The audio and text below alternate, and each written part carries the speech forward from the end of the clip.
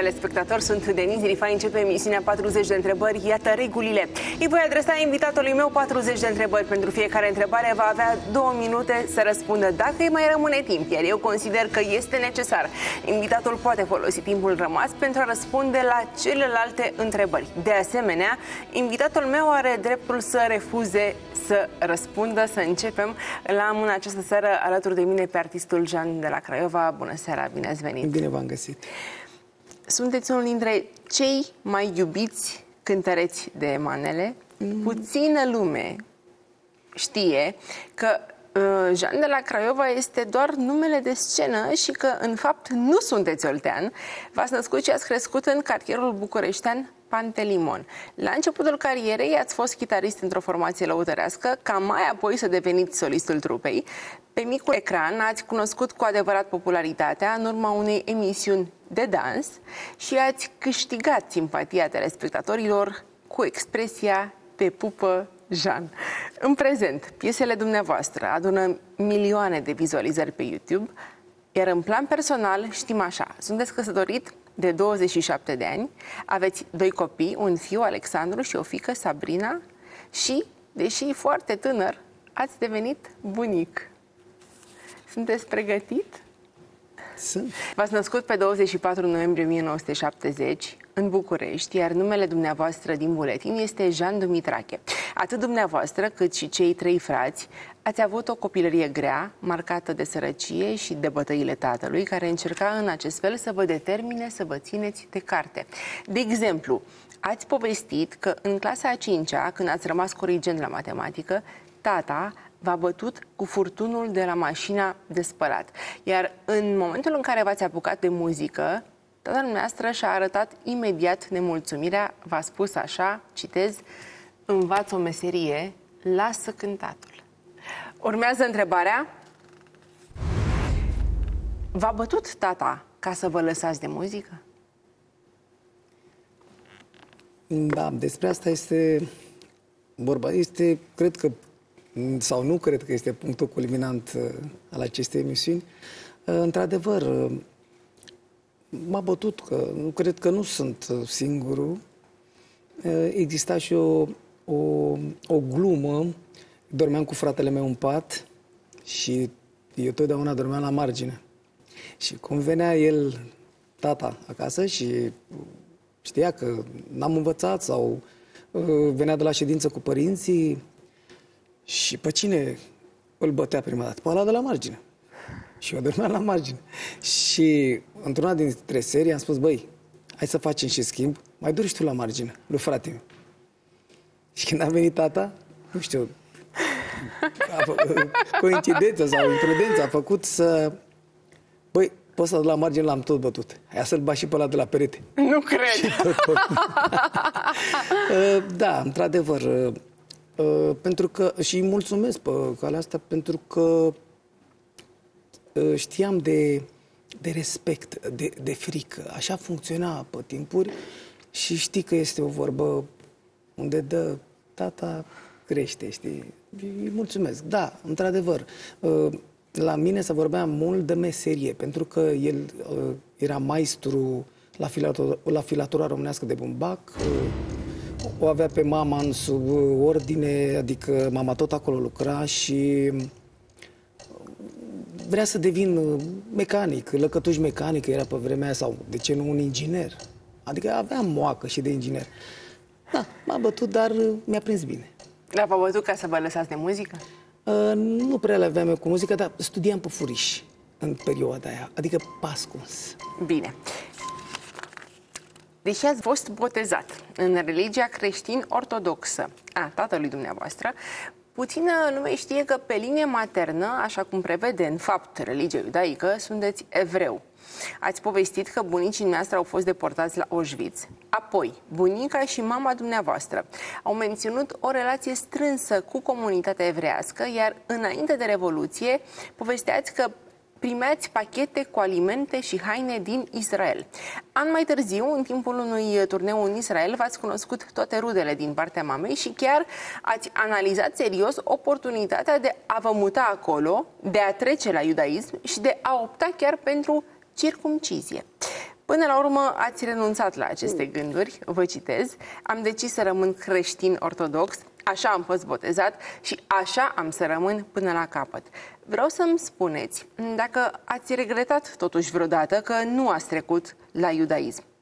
Urmează întrebarea. Vă simțiți evreu?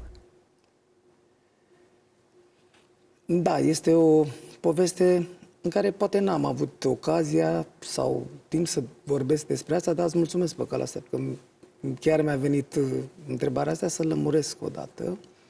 Uh, în religia mozaică, da? După mamă ești evreu, după tată nu ești evreu. Așa este da. la noi Ritu. și la... Așa. Da. Uh, mama lui mama, Leibovici Anchen, o cheamă, o chema, Dumnezeu să o odihnească, uh, evreică. Uh, frații, surori în Israel, al uh, bunicii mele. Am uh, verișoare, unchi din partea așa. Sunt, sunt uh, rudă de gradul 2 acum. Pentru că a murit bunica, eram gradul 3. Era mamă, fică, nepot. Și acum sunt uh, mama.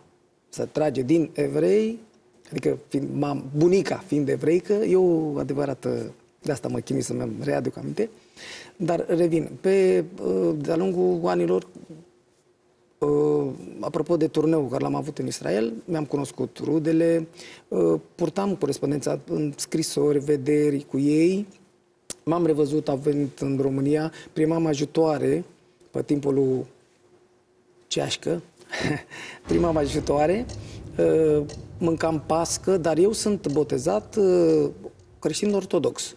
Ceea ce nu regret, uh, pentru că aici m-am născut, uh, dar am și sânge de evreu în mine, care curge prin venele mele. Și străbunicii mei au fost deportați, i-am găsit, am fost să-i caut la cimitirul evresc, i-am găsit. Uh, într-un uh, registru mare, Leibovici, Roza, Leibovici, Herman. Am vrut să-mi văd istoria, dacă într-adevăr. Și într-adevăr uh, au fost îngropați la cimitirul evresc. Herman, stră, bunicul meu, a fost deportat timpurile acelea care e greu să-ți aduci aminte, să-ți amintești. Și puteam să beneficiez de foarte multe oportunități, foarte multe beneficii din partea sognotului, din partea Israelului, dar am vrut să rămân așa, ortodox, român, cântăcios și, și așa mai departe. Și continuăm. Presa a menționat de mai multe ori originile dumneavoastră țigănești.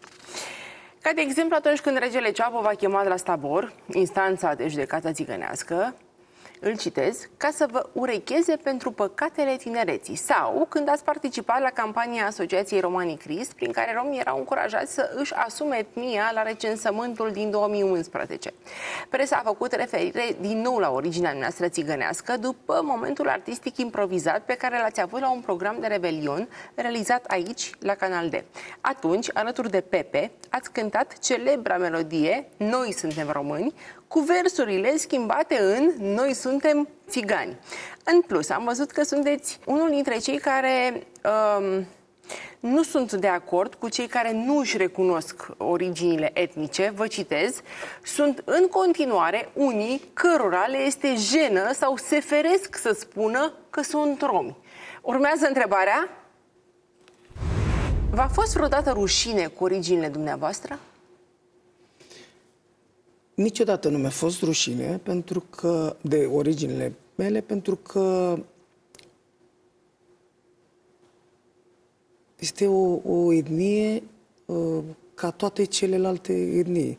Uh, există și cum, există oameni răi, oameni buni, dar asta nu te determină să uh, să-ți fie rușine de, de originalitatea ta, în primul rând.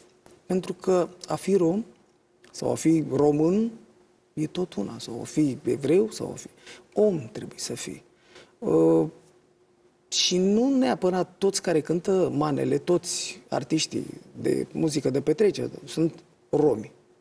Sunt și români care interpretează acest gen muzical, care e foarte frumos.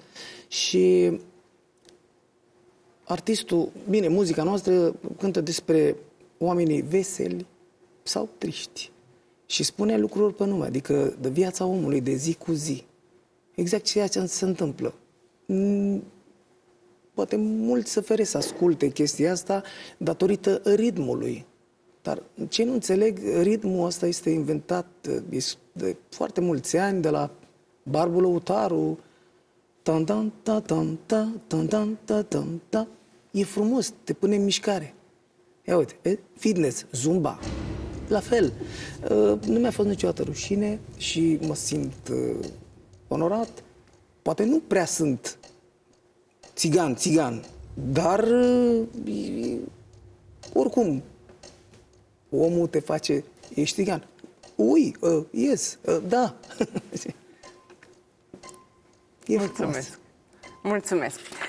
Mergem mai departe. Ați povestit că la naștere, medicul care a asistat-o pe mama dumneavoastră era atât de beat, încât a fost la un pas să vă lase fără bărbăție, pentru că a confundat-o cu cordonul umbilical. Mai târziu, în 2013, bărbăția dumneavoastră a devenit subiect de primă pagină în presa tabloidă după ce v-ați lăsat filmat golpușcă într-o emisiune de televiziune. Chiar dacă imaginile au fost blurate pe micul ecran, colegii de platou au dezvăluit presei că natura v-a înzestrat din plin. Vreau să știu dacă această secvență filmată a fost doar o pură întâmplare sau vorbim de un gest făcut special pentru promovarea emisiunii. Urmează întrebarea. Sunteți mândru de bărbăția dumneavoastră? Stai să iau o gură de apă.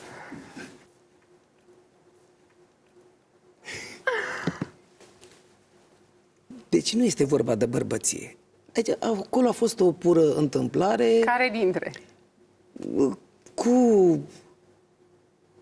Și așa nu ne audă oamenii cu ciucurelul gol. Cam așa am, am rămas uh, la un moment dat, că nu găseam uh, shortul. Era ud, l-am pus pe calorifer la o emisiune și trebuia să fie uscat, că intram în concurs. Și aveam prosopul. Afl- aflându-mă la o uh, platformă mai înaltă, șapte metri, trebuia să săr, mi-era frică, cu eu cu prosopul. Un prieten al meu foarte bun, care îl iubesc Pepe mi-a făcut vânt și mi-a tras prosopul. Și am rămas uh, frumos și a zis că de ce nu ți-ai ținut și tu să te acoperi, să nu vadă oamenii? Păi, zic, nebunule, de la șapte metri, ori îți ții echilibru, ori ți acoperi bărbăția. Și am ales să-mi țin echilibru. Și cei de la misiunea respectivă a plurat chestia, chiar nu s-a văzut. Dar uh, nu asta contează, contează când am ajuns acasă, și soția mi-a zis, uh, uh, că, uh, bine, scria în ziar a doua zi că Jean de la Craiova ascunde în pantalon un monstru. Pentru mine era, ma, monstru. Mm. Și am întrebat, da, da, da, și m-a întrebat, unde e monstrul ăla, mă?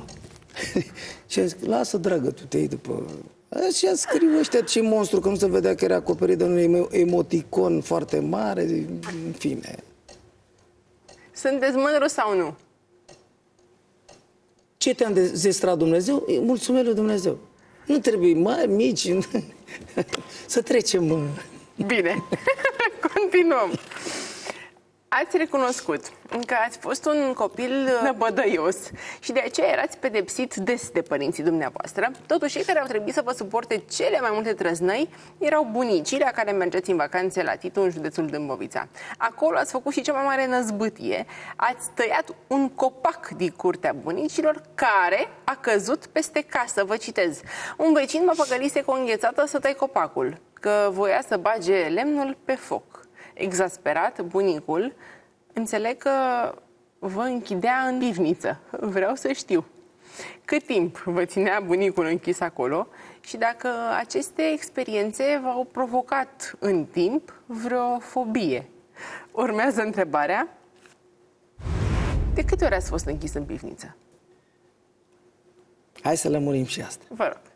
Deci nu eram închis în pivniță, că pivnița era ocupată de murături, cartofi, etc. Așa.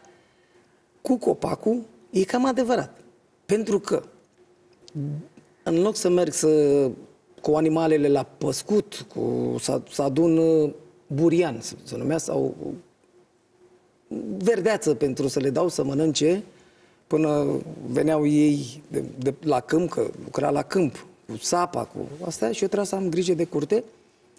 Mă duceam la cămin. Căminul era un cămin unde se ținea discotecă, unde se strângeau fetele, băieții acolo, să îndrăgosteau, să... Și când veneau de la câmp, nu găsea în ordine ceea ce mi-a lăsat uh, scris. Și atunci mă lega de copacul ăla cu un lanț. A, deci Stai mai rău. aici două ore legat. Și trecea lumea pe stradă și mă vedea în curte. L-a legat pe ăla de la București, uite-l, merită, că face rele, cu tare, să, să urcă în copaci, să, pe casă la lume, merge în spate la, cu căruța, cu astea, ca la țară. Amintiri din copilărie. Cred că dacă trăia eu în creangă, era invidios pe trăznăile mele. Deci nu în pivniță, ci legat de copac. Și atunci am tăiat copacul. Bine. Oh. Să nu mai mă lege.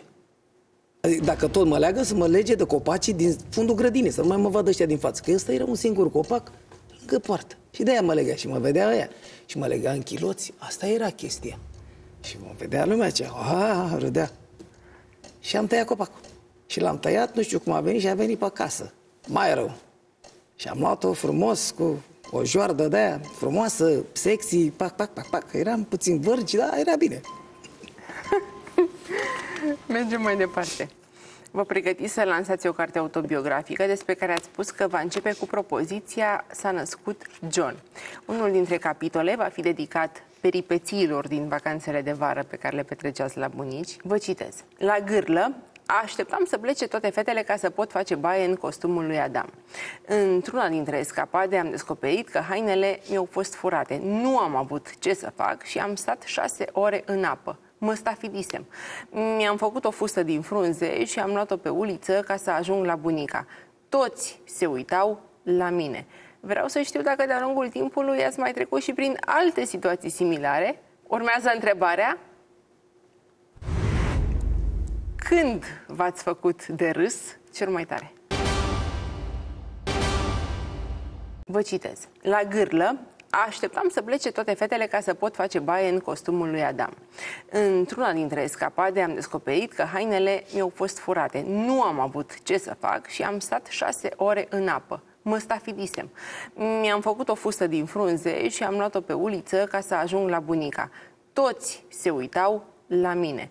Vreau să știu dacă de-a lungul timpului ați mai trecut și prin alte situații similare. Urmează întrebarea. Când v-ați făcut de râs cel mai tare? Păi atunci, eu eram de la București, cum era la țară, am venit bucureșteanul. Și aveam niște tenești chinezești, așa se purta, chinezești. Un short nou, un tricou nou. Și am zis să... Am fugit tot așa, că nu făceam de ale curții, de ale casei. Și am zis să-mi fug la gârlă, că o luam în grădină, aveam un traseu în porumb, o potecă și ieșeam la gârlă. Și pac, mă scăldam, la scăldat. Și am ieșit acolo, eram și ca să nu ud chiloții. Că îmi vedea ce, aha, ai fost la gârlă. Și o luam mai rău. Adică așa știam că o luam mai, mai puțin. Am făcut baie gol. Dar după ce m-am am ieșit pe mal, nu mai era hainele. Am început să plâng, zic, Doamne, ce fac? Pe unde iau? Că trebuia să iau iar până grădină, până sat, trebuia să traversez și erau toată lumea la poartă. Iar îl vedea pe ăsta în costumul lui Adam și iar ăsta de la București ce a mai făcut. Și mi-am luat niște frunze, le-am pus pe o oață, eram de ăsta din Africa frumos, cu făstiță verde, am fugit și acum unde sunt hainele, unde sunt... Toată lumea râdea că m-a văzut până la urmă. Ce ai făcut? Ce mi-ai făcut? Zic, mi-a furat haine. Ha, ha, ha, ha, ha. Și toate fetele, toate... Ce, că erau... Să uitau, să vadă, să-l vadă pe ăsta de la București. Au început să râdă, nu mai mă băgam în seama, ai, erai dezbrăcat, băi, ce ce vrei să fac, așa e. Și asta e, am mai luat-o iar pe cocoașe, că o luam așa frumos pe cocoașe, mai o luam dimineața, mai pe seara, dormeam bine, era bine. Bine, mergem mai departe. Când aveați 12 ani, părinții s-au despărțit, așa că mama a fost cea care a dus greul pentru a-și crește singură cei patru copii. Ați spus așa, eram săraci lipiți pământului. De foame, mi se lipea burta de șira spinării. Ați povestit că de Crăciun, când alți copii descopereau fericiți surprizele de sub brad, dumneavoastră vă împachetați pietre în poleială pe post de cadou. Mai mult, ca să vă ajutați mama, munceați la un magazin de mobilă unde strângeați hârtiile, măturați și duceați gunoiul. Erați doar un băiețel care se grebea să-și termine treaba ca să prindă serialul Mihaela. Cu bănuții câștigați, nu vă luați dulciuri, ci fugeați să cumpărați cartofi. Și chiar și așa, erau și zile în care tot ce putea mama să vă pună pe masă era o oală cu ceai. Urmează întrebarea. Câți ani ați răbdat de foame? Da. Erau timpuri și timpuri. A fost o perioadă în care uh, tata era uh, maestru la filatura românească de Mbac și avea sub uh, ordine 216 femei. Acum, poți să fii eunuc și tot uh, mai scapă ochii. Uh, s-a întâmplat ceva cu femeie de acolo, probabil, eram foarte mic, nu prea îmi dădeam eu seama. Și părinții mei s-au despărțit. Iar noi am rămas, eu cu frații mei, am rămas cu mama. Acum era cu un singur salariu, era foarte greu să te ții în școală, uh, în fiecare zi bandă pachete la școală, nu, știu, nu mai făcea față, știi, și fiind mic, eu mi-am dat seama că trebuie, mai trebuie ceva. Uh, sub blocul unde stăteam acolo, era un magazin de mobilă unde uh, m-am dus să muncesc, să m-am rugat pur și simplu să fac orice ca să, pentru 25 de lei pe zi. Veneam de la școală, fugeam la mobilă, jos, strângeam hârtii, cartoane, măturam, stropeam cum se făcea cu furtunul, cu astea și primeam bănuții. Iar cu bănuții treceam strada și era un aprozar în care luam ce puteam să iau, cartofi, fasole și să ne facă mama de mâncare. Uh, și așa mai o, eu am, credeam că o mai ajut și probabil am, am ajutat și eu în chestia asta. Uh, în fiecare zi primeam câte 5 lei, o fisă de 5 lei, fiecare dintre noi, la 15 lei pe zi. Mai iau puțin timp. Da, care, deci 15 lei pe zi, în care trebuia să-i avem zilnic, să luăm, uh, să ne luăm pachet la școală, pentru că sandwich și astea, n-aveai din ce, ce puneai gem sau... Adică luam un baton de 3 lei și 2 lei un lapte era sana sau nu știu era și băgam în ghiozdan. De multe ori nu aveam posibilitățile astea și mai găseam o fructă, mai... era o, o chestie, o problemă care ne-a fost greu câțiva ani, până când ne-am mărit și fratele meu s-a angajat, a mai venit uh, o resursă, eu mai mă descurcam tot așa, de la măturător la mobilă, am început să, să merg și la etaje, să montez mobilă și primeam mai mult, 100 uh, de lei și, și așa mai departe. Dar am trecut, mulțumim lui Dumnezeu că suntem sănătoși și sunt foarte multe amintiri în care m-am lovit de ele în viață și cred Vorbim. că eu am, am așa o vorba mea, și Ceaușescu a fost cizmar. Vorbim. Și... Vă citesc. Am început să cânt la țară. Câțiva prieteni și vecini cântau muzică populară. Într-o zi m-am întrebat cum cântă oare ei? Ce? Eu sunt mai fraier să nu pot? Și mi-aduc aminte că prima melodie pe care am cântat-o a fost M-am născut între Carpați a lui Ion Dolănescu. Am luat două pietre, băteam în podea să țin măsura și cântam. Aveați 12 ani. Talentul dumneavoastră înțeleg că nu a apărut din senin, întrucât exista deja un artist în familie, ați spus așa, l-am moștenit de la bunicul meu tata lui mama. El era solist la nunți și la câteva restaurante cunoscute pe vremuri. Era romanțier, cel mai bun dintre toți.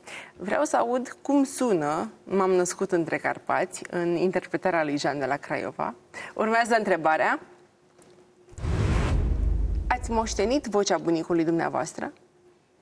Uh, cred că da, am moștenit. Uh, sângele apă nu se face, dai seama. Uh, tataie Dumnezeu să-l odihnească, romanțier. Cânta, uh, îl urmăream cu foarte mare atenție când uh, se înregistra la casetofon, la casetă, uh, romanțe. Am greșit, am greșit când m-am îndrăgostit de tine. Cânta și am rămas așa, eram mic, aveam 12 ani, mă uitam. Zic, mamă, ce fel cântă îmi plăcea, mai cântă, cânta Zaraza, astea, știi? Romanțier. Și îl ascultam cu drag. Uh, când mergeam în vacanță la țară, după ce am început să ascult romanțe, să mi intre așa, nu știu, ca o, ca o umbră așa în mine, ca o chestie... Uh,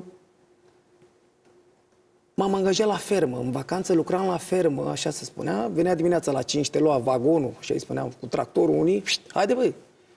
Și ne dădea 20 de lei pe zi. Nu 20 de lei. Da, cam așa, în fine. Și te dai cu sapa de la porumb și ți arăta, bă, ăsta e rândul tău și până la 12 să ieși cu el la capăt. Și rândul numai să te vedeai capul era, adică bă, să pai până mureai. ca la, da, armată.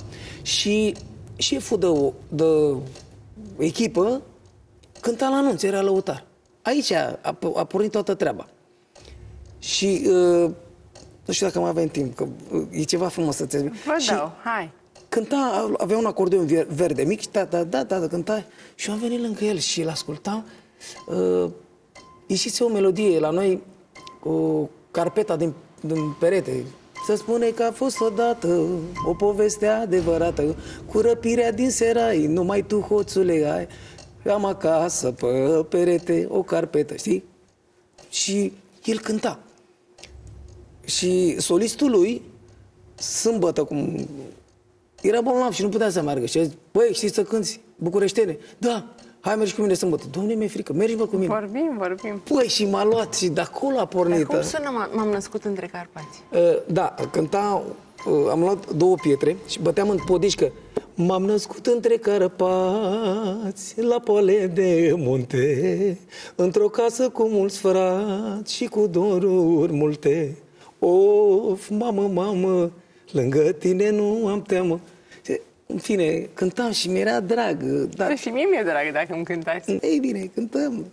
Bine, continuăm. Acum, reveniți de la țară în cartierul Pantelimon în care locuiați, ați învățat să gândați la chitară de la un băiat din vecini.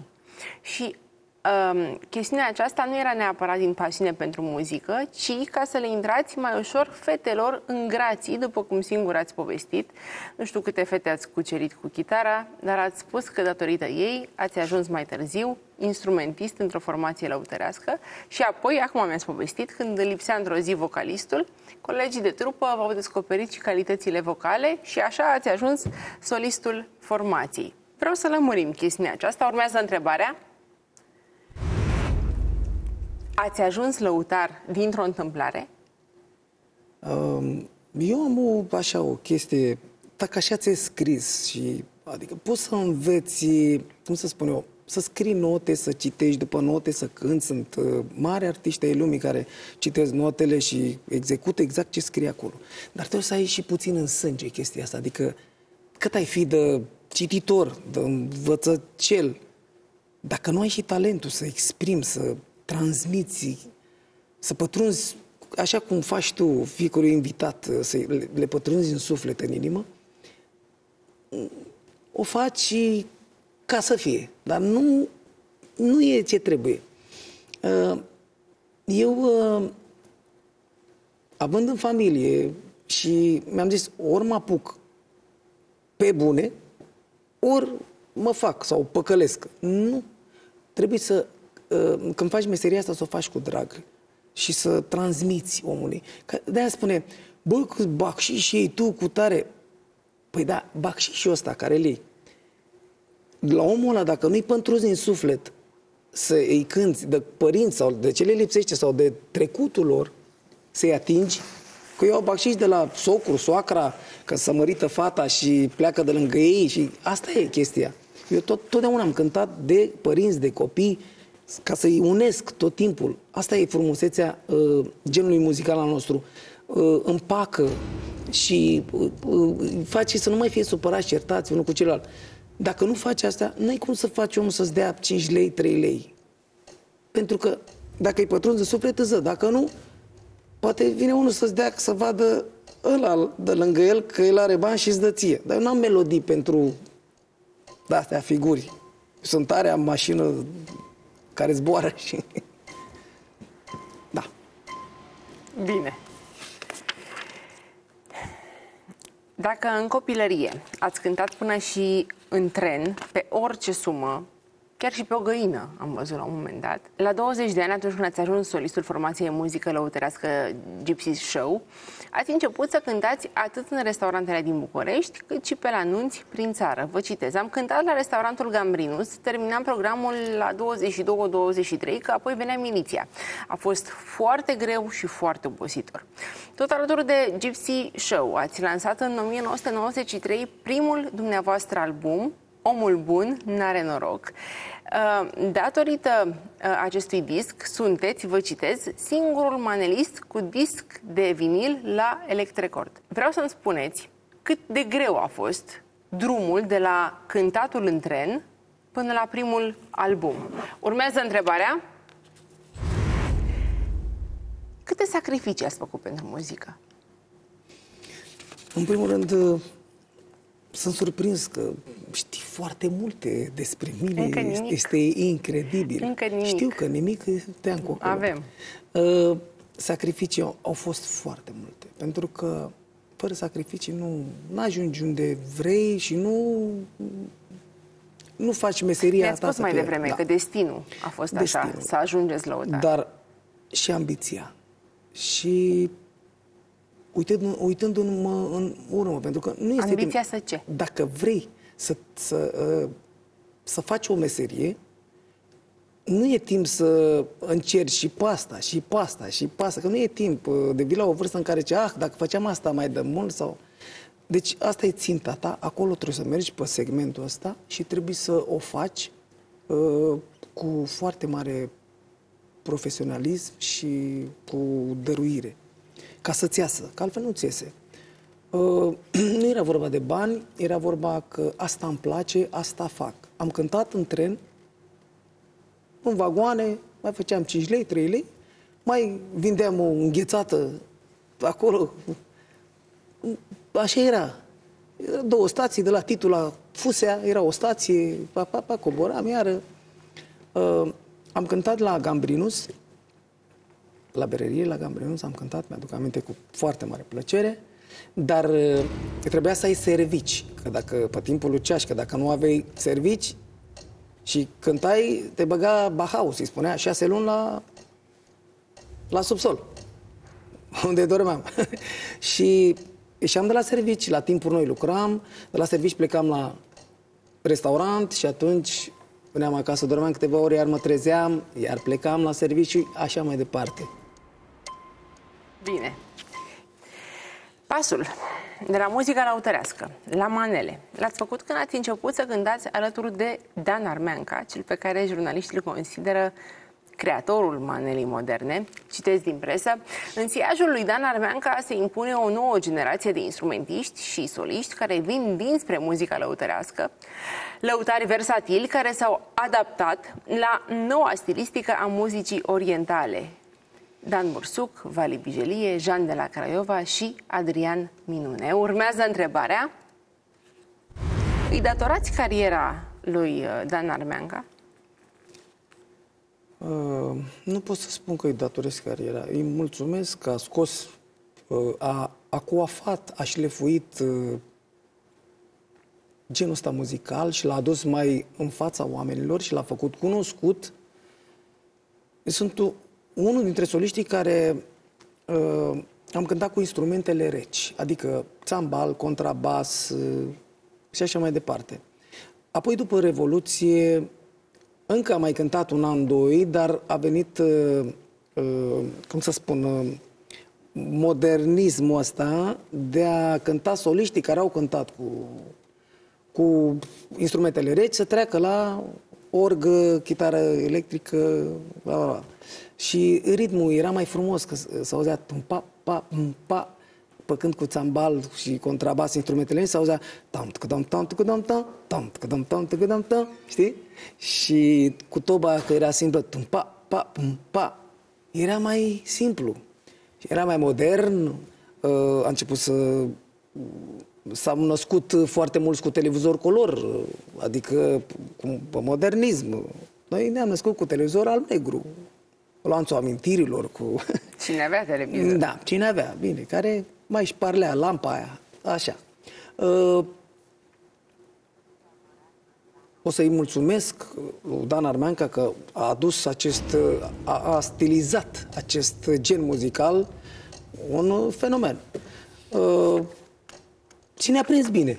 Ne-am integrat cu toții și a fost foarte, foarte ok, ca și în zilele noastre să folosesc.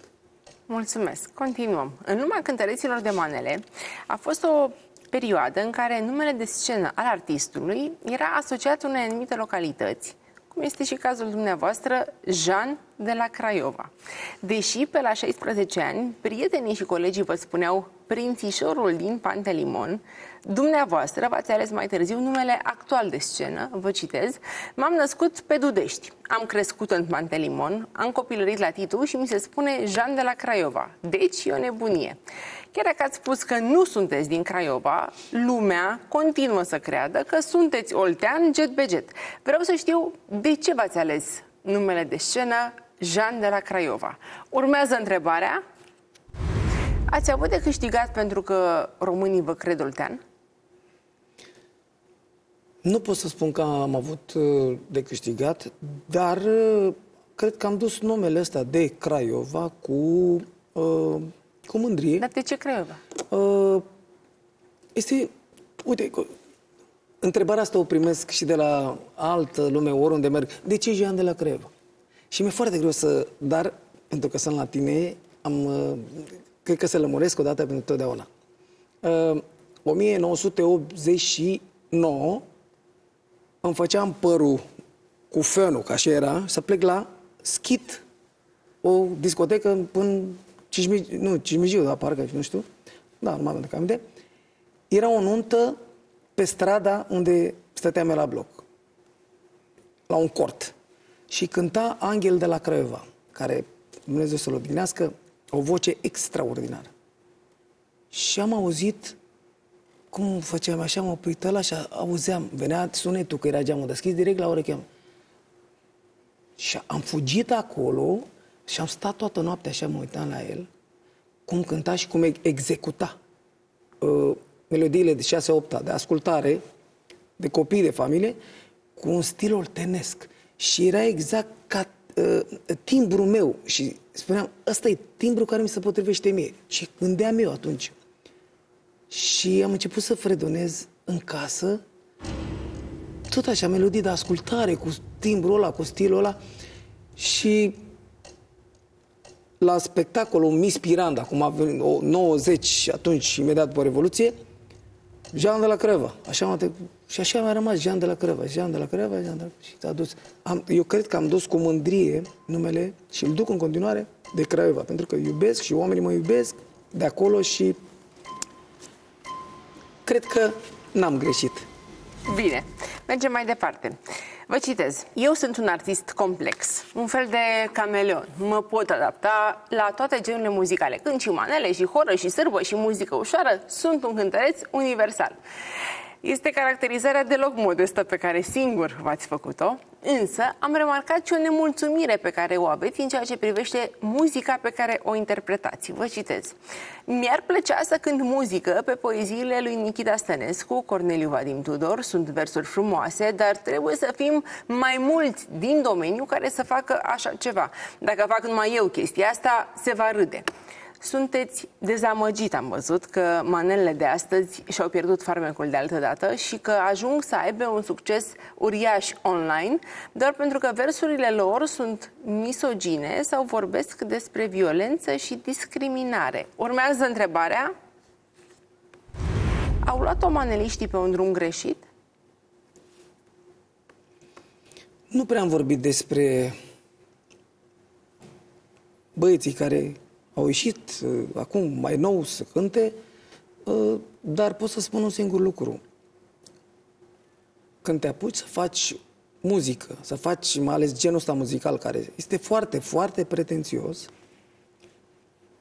uh, dacă tu nu-ți creezi un stil al tău propriu, te repet, să poți să transmiți, să poți să pătrunzi în sufletul omului și când ca Vigelie sau ca Jean sau ca Adrian sau ca Salam sau ca... Nu ajungi niciodată departe, pentru că uh, tu cânti genul lor, timbrul lor vocal și execuțiile lor care au fiecare melismele lor și omul, de ce te-ar lua pe tine și nu ia originalul? Pentru că aici fac nota, hai să iau originalul dacă tot. Îmi place cum cânti, tu făți un stil al tău propriu, fără hau, bau, au, sperie lumea. Și cântă, fă tu drumul tău.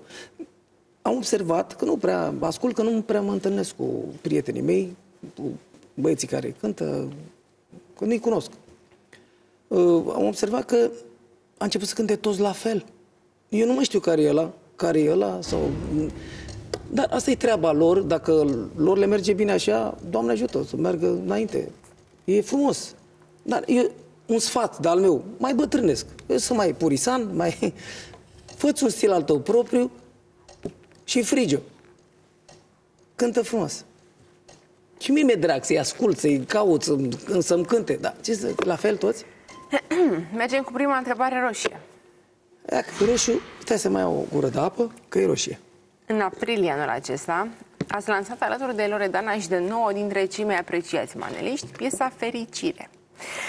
Melodia nu doar că a intrat imediat în trending pe YouTube, plasându-se pe locul 8 la nivel internațional, dar în numai 5 luni a strâns peste 30 de milioane de vizualizări. În ciuda succesului, piesa a devenit imediat ținta unui val uriaș de critici. Presa a scris că dumneavoastră, cântăreții de manele, ați profitat de reputația Loredanei pentru a vă spăla imaginea, iar artistei i s-a reproșat că a acceptat această colaborare doar ca să ajungă populară pe YouTube. Citesc din presă. Storul de intelectual se adună în jurul faraoancei și dansează. Piesa e nulă. Putea fi o manea explozivă, simpatică, dansantă, putea să aibă un mesaj. Nu are vreau să lămurim acest subiect. Vreau să-mi spuneți pe cine credeți că a ajutat, de fapt, colaborarea pentru piesa Fericire. Urmează întrebarea roșie. V-a folosit Loredana ca să revină în trending pe YouTube? Mă, Denis, este... Loredana e Loredana. Cu noi sau fără noi, ea tot imaginea o are, Uh, la fel și noi, a fost o colaborare pentru că acolo am fost aleși numai uh, soliști cu stiluri diferite, dacă cineva ascultă, adică începând de la X, Y, fiecare are, dacă îi asculți la, la pick-up, ăsta e ăla, ăsta e ăla. De-aia a fost aleși așa de către Costi Ioniță. Iar Loredana, nu că i-am făcut bine, că ea, și repet, fără noi sau singură, tot Loredana e. Și la, noi la fel. Dar uh, am crezut că este uh, o colaborare foarte mișto și totodată ceva nou. Și nu puteai să uh, transmiți un mesaj, uh, să cânte fiecare, că eram prea mulți, de seama, să cânte fiecare câte o strofă, asta se lungea foarte mult și atunci trebuia să găsim un cuvânt foarte frumos uh, spus de către fiecare. Și ce e mai frumos decât fericire? Fericire, fericire. Puteam spune iubire, dar erau prea mulți bărbați acolo, să zic iubire. Fericire e altceva. Uh, cred că ne-a avantajat și pe noi și pe ea. Lumea, uh, că nu degeaba ai 30 de milioane sau cutare de vizualizări. A fost frumos. E frumos și îi mulțumim lui Loredana că uh, n-a stat pe gânduri, a spus, da, cum să nu? Eu mai mă întâlnesc cu Lori pe la evenimente, pe la... Mulțumesc. Continuăm cu o întrebare roșie. Tot roșu. La școală, ați fost coleg de bancă cu Adriana Bahmuțeanu, cu care ați păstrat o relație specială. Despre ea ați povestit așa. Adriana Bahmuțeanu era o popușică foarte frumoasă. Îi spuneam chinezoica. O șantajam să-mi facă și mie temele pentru că altfel mă mutam din bancă și va veni un alt coleg care o să-i fure din ghiozdan. Sunt cuvintele dumneavoastră. În schimb, ca să vă lase să copiați de la ea, la lucrări și la teze, dumneavoastră trebuia să îi aduceți colivă de la biserică. Ați mărturisit că în adolescență, pentru Adriana Bahmuțeanu, ați avut și niște sentimente mai speciale. Vă citesc din nou. Adriana a fost prima fată pe care am vrut să o sărut. Însă mi-a fost teamă că nu o să mai îmi facă temele. Vreau să știu dacă lucrurile s-au schimbat după ce ați terminat școala. Urmează întrebarea roșie. Ați sărutat-o pe Adriana Bahmuțeanu? Da, pe obraz. Pentru că mi-era teamă că aveam foarte mult de scris. Și cum veneam eu, deci eu eram uh, un învățăcel, nu prea. Eram, uh, da, într-adevăr, o mințeam că o să plec din banca ei care te-a obișnuit atâția ani cu mine, vine unul grăsan și ăla fură din ghiozdane. Și da, și mă duceam la... Era biserica aproape, uh, vineri, că era ultima, așa, cunoșteam niște băbuțe care făcea colivă mișto. Astea care avea mai proaspeți. Era coliva mai, bă, aia mai vechi, făcea așa ca să fie. Știi? Dar știam pe cu nucă, cu... Era un de chis, o delicatese. Și aduceam, ia uite ce ți-am adus. A, hai, la ce? Matematică, că mă lasă corigent. Și am făcut profesorii, nu știu ce au vorbit, că au, a fost o, o crădășie acolo. Uh, băi, să-l facem comandant de detașament. Nu de la mare, cum îi spune, ăla cu șnurul roșu. Nu știu, nu mai știu. Tu nu știi că erai, nu erai. Da. Uh, m-a fă, mi-a pus șnur roșu și eu eram, nu cel mai prost. Nu prea le aveam cu cartea. Aveam în minte în altă parte. La sapă, la... În fine mi-a pus șnur roșu. Și de ce crezi? Ca să mă cumințez că cine venea? Deci comandant, acum tu trebuie să vii să fie curată clasa, tabla ștearsă, toate. De... Și pe mi-am dat seama după să mă, băi, ăștia cu cap a făcut, m-a făcut ca să mă dreseze și învățam lecțiile. Deci se poate și așa, un lucru, cap de jidan, vorba mea. Bine, continuăm. Aveți darul de a vorbi deschis despre orice subiect. Hmm, nu ați ocolit uh, nici măcar dezamăgirea pe care ați trăit-o la prima dumneavoastră experiență intimă. Vă citez. Prima noapte de dragoste a fost la 11 ani, iar fata mi-a dat papucii. Am plâns, m-am ascuns în cameră, plângeam și îmi spuneam, uite măi, nu mă mai vrea. Urmează întrebarea. De câte ori ați plâns din cauza unei femei? Da, am plâns. Am plâns. Pentru că atunci când simți ceva pentru cineva și când compatibilitatea există între două persoane, plângi și simți niște gângănii, nu mai zic fluturi, niște gângănii în stomac care îți provoacă plăcerea asta și e cel mai frumos sentiment, cred, în viață, prin care îți aduce aminte cu plăcere peste ani și ani.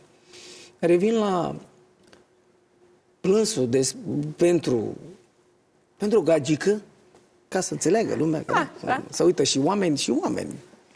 Uh, da, într-adevăr, pe la 11-12 ani, tot așa, la țară, că acolo se întâmpla multe, pe câmp, ce vei de făcut? Dădeai pe sapa, mai te uitai pe o domnișoară. E mici, ce puteai să faci la 12 ani? Nu prea eram eu șarlatan așa, dar eram cam șugubăț, știi?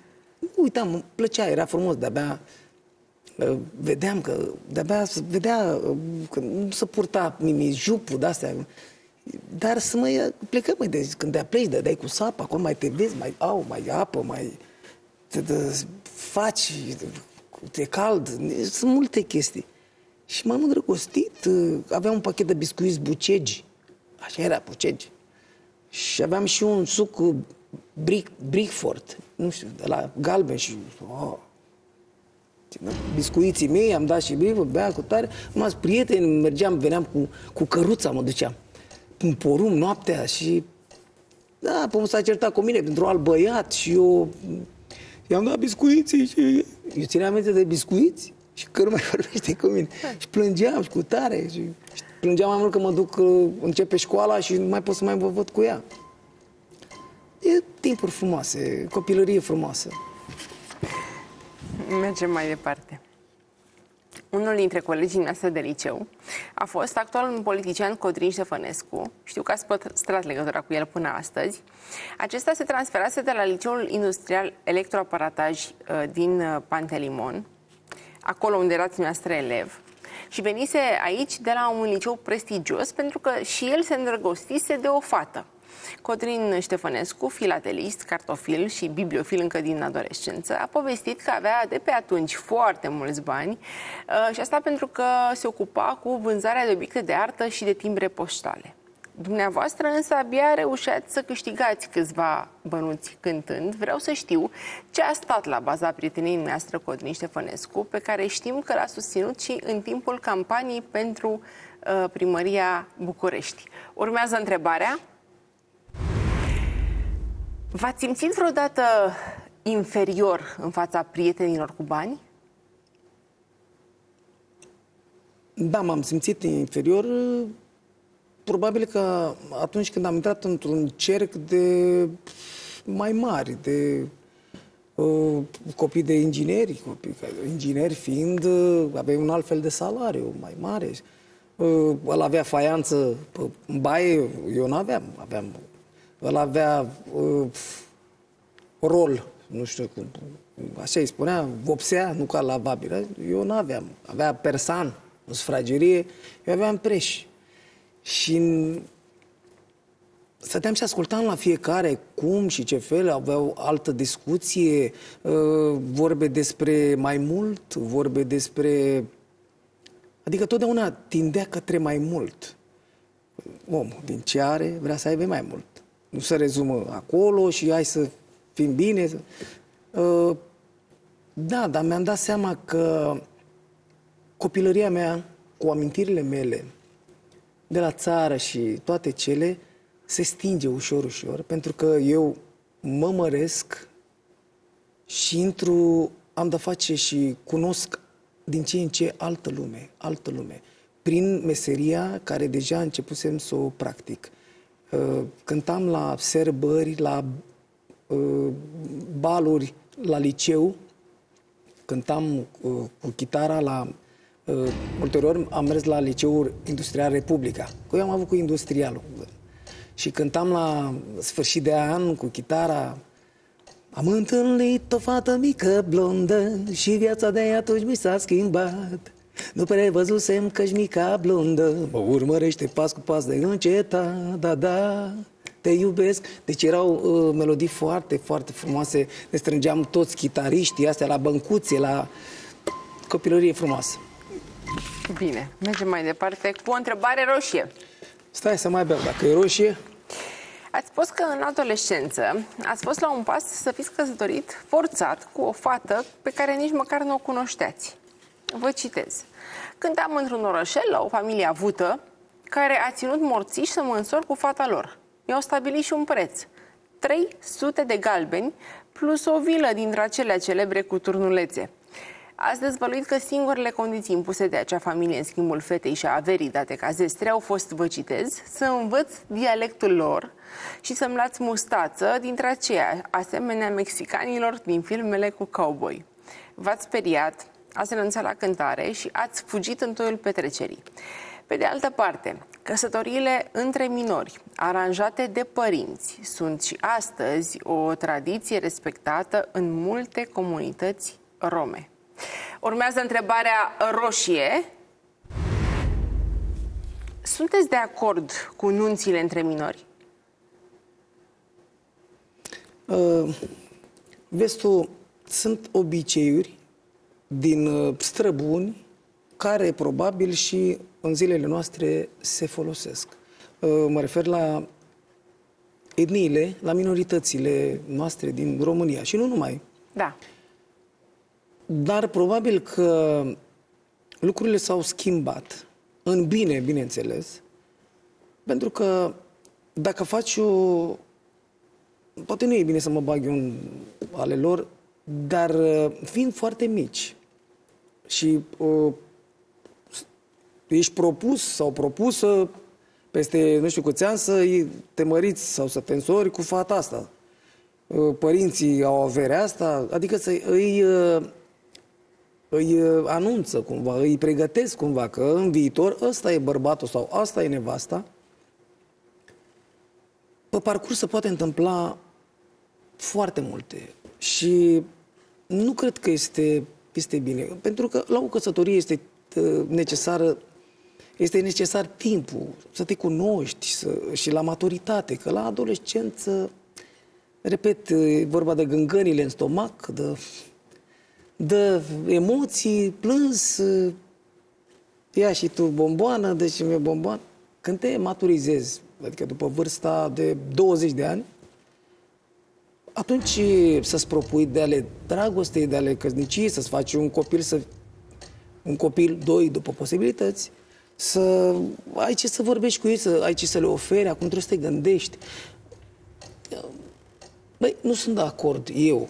Dar dacă așa sunt datinile lor și astea, ei știu mai bine, sunt oameni maturi și... Și apropo cu mustața, cum mă vezi pe mine, mustață cu...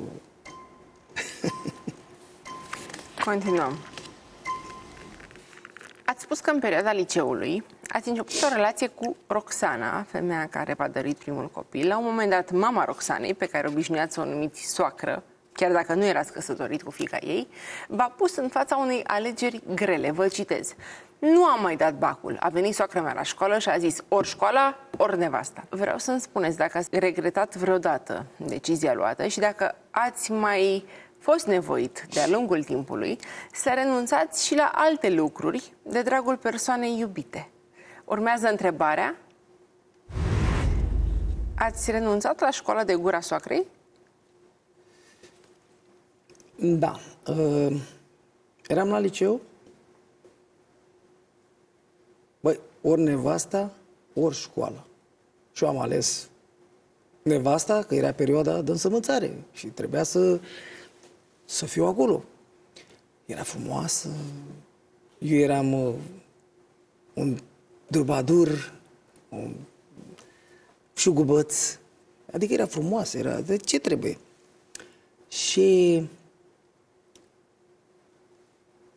m-am căsătorit, adică nu cu acte. Am rămas la ea într-o noapte, a doua seară am rămas, a treia am rămas de tot. Acum am plecat la servici, m-am angajat la timpuri noi. Avea o meserie foarte mișto. Deci era legător de sarcină, era extraordinar. Adică puneai cârligele de la macara la un obiect și făceai semnul ăla. Hai bă! Deci era o meserie care pf, nu se poate. Că ulterior, mai târziu, m-a făcut magazioner, eram falat, aveam ecuson, e frumos. Deci, dar totdeauna eram curat, aveam numai vasilină, eram frumos pe față. Și de acolo lucram și am plecat la... Uh, și cântam. Seara la Gambrinus eram cântăcios, cântam. A venit copilașul, iar uh, știi că dragostea durează trei ani. S-au întâmplat niște lucruri care nu vreau să mai aduc aminte.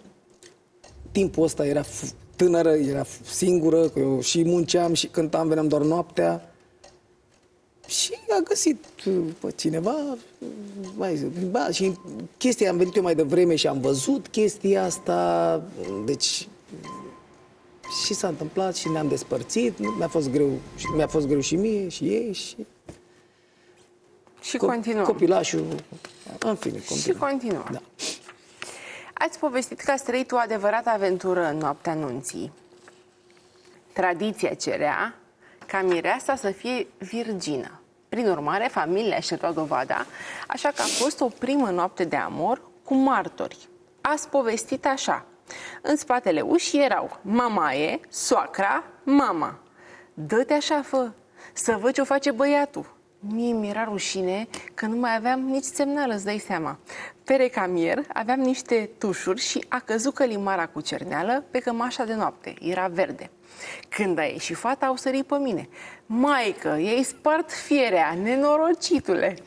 Sunt sigură că astfel de amintiri nu se uită niciodată, oricât de mult timp ar trece. Vreau să-mi povestiți cât de timorat ați fost în acele momente și cât adevăr este în toată această poveste. Urmează întrebarea. Cum e să te iubești cu spectatori în dormitor? Ați povestit că ați trăit o adevărată aventură în noaptea nunții. Tradiția cerea ca mireasa să fie virgină. Prin urmare, familia și-a luat dovada, așa că a fost o primă noapte de amor cu martori. Ați povestit așa. În spatele ușii erau mamaie, soacra, mama. Dă-te așa, fă, să văd ce o face băiatul. Mie mi-era rușine că nu mai aveam nici semnal, îți dai seama. Pe recamier aveam niște tușuri și a căzut călimara cu cerneală pe cămașa de noapte. Era verde. Când a ieșit fata, au sărit pe mine. Maică, ei spart fierea, nenorocitule! Sunt sigură că astfel de amintiri nu se uită niciodată, oricât de mult timp ar trece. Vreau să-mi povestiți cât de timorat ați fost în acele momente și cât adevăr este în toată această poveste. Urmează întrebarea. Cum e să te iubești cu spectatori în dormitor? Uh, da, este o, o întâmplare adevărată, dar uh, a fost la o nuntă unde am cântat eu, n-am fost eu. Chesti... A, nu erați mire. Nu, nu eram eu mirele. Păi dărâmam crimara, păi nu înțelegeam. Eu, eu ce spărgeam fiera, ce eram zeu fertilității sau... Yeah. uh, eram la o nuntă, tot așa, cu tradiții în care noi cântam în curte și acum trebuia mirii să meargă în dormitor și să iasă cu cămașa. A fost fată mare, sau să știu eu, să taie porumbelul acolo, știu eu, și face ei. ei și s auzea pe acolo și eu, eu trimiteam pe soacre, pe... Du-te bre și dumneata acolo, ia vezi ce face, că stă prea mult, că eu trebuie să ajung la altă nuntă și ăla nu, nu făcea treabă mai repede. Haide mă că stai, să uita la ea și el și ea și nu făcea. Du-te pe mă, mai spune să mai repede. Și hai mă, fătălăule, dă uite pe fată. Fata nu plângea, zic, gata, nenorocește, nu știu ce să fac. Și a dărâmat alea după capul patului și când a ieșit era plină de cerneală verde. Și când a ieșit, ei spar firea nebunule, i-am zis, și măsa mare cu ăla, hai mai că nu, că... și ei plângeau. Și l-am luat eu deoparte, măi băiatule, uite cum să face, fa așa, fa așa. Nu, că mi-e rușine. Zic, măi, eu trebuie să plec la nuntă, fă ceva. Nu, mama e plângea, că erau prea mici. Da, deci a fost o, o, o chestie. Și asta a fost întâmplarea cu obiceiurile și până la urmă a rămas așa, cred că da, gata. Da, verde, m-am speriat și eu. Ei spar fierea. Bine. Mergem cu o întrebare roșie. Deci, în 1990 aveți 19 ani, în momentul când ați devenit tată pentru prima dată, am vorbit puțin mai devreme de Roxana. Atunci, iubita dumneavoastră avea 17 ani. L-a născut pe Alexandru. V-ați despărțit de Roxana după numai 2 ani de relație, astfel că primul nostru copil a crescut fără tată. când ați devenit celebru, ați fost acuzat în presă că v-ați renegat propriul copil. Un apropiat al dumneavoastră a spus, citez, Jean se duce să-l mai vadă, îi dă cam 1000 de lei pe lună, însă este absent din viața băiatului. Nu își fac confidențe și nici nu sunt apropiați. Presa a scris că Alexandru Dumitrache, deși vă poartă numele și înțeleg că vă seamănă leit, a fost lăsat să se descurce singur în viață.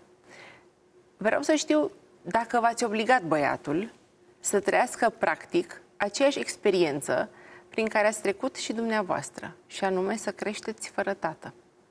Urmează întrebarea roșie.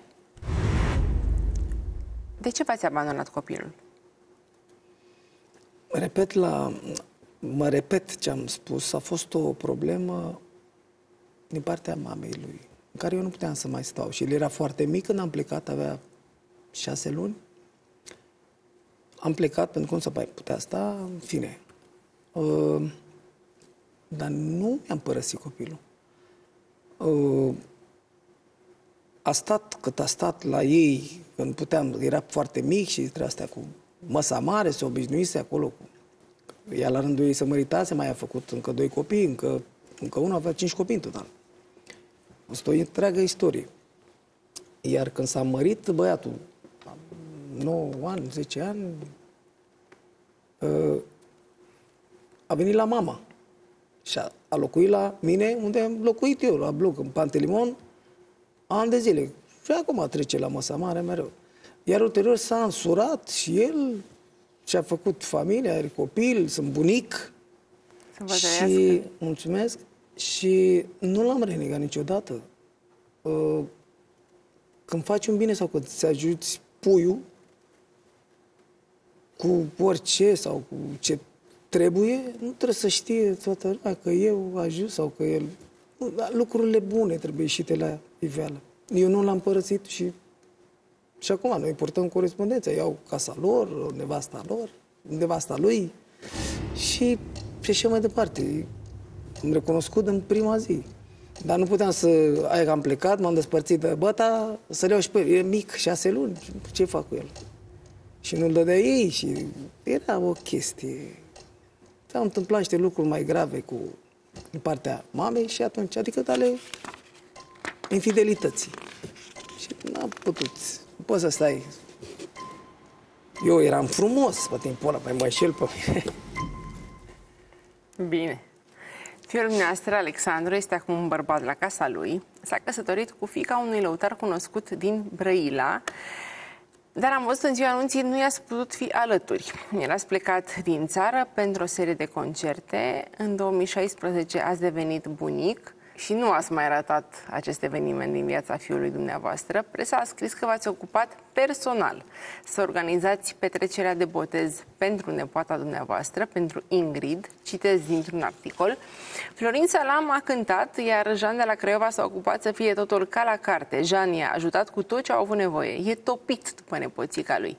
Despre rolul de bunic, ați spus așa, vă citez, e mișto să fii bunic tânăr, copilărești cu nepoții am o curiozitate. Urmează întrebarea. Cum îl alintă nepoata pe bunicul Jean de la Craiova? Uh, sincer, nu prea am stat cu nepoțica. Uh, într-adevăr, am fost la botez, uh, am ajutat cu ce am putut, dar nu m-am ocupat eu de tot ce trebuie la... Doar am fost ca tataie, uh, Nunta nu a făcut-o, trebuia să facă nunta, dar s-a amânat datorită problemelor care sunt.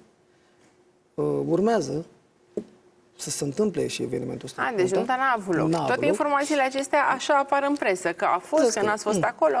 Botezul, ei s-au ocupat de botez, eu am contribuit acolo financiar și ei s-au ocupat pentru că sunt tineri și ei ce le place lor ce... Uh, da, au fost lăutari, este uh, Ninel de la Brăila, Cuscru, un mare viorist și a fost și este și rămâne. Mă bucur să înțeleg foarte bine. Bine, mergem mai departe.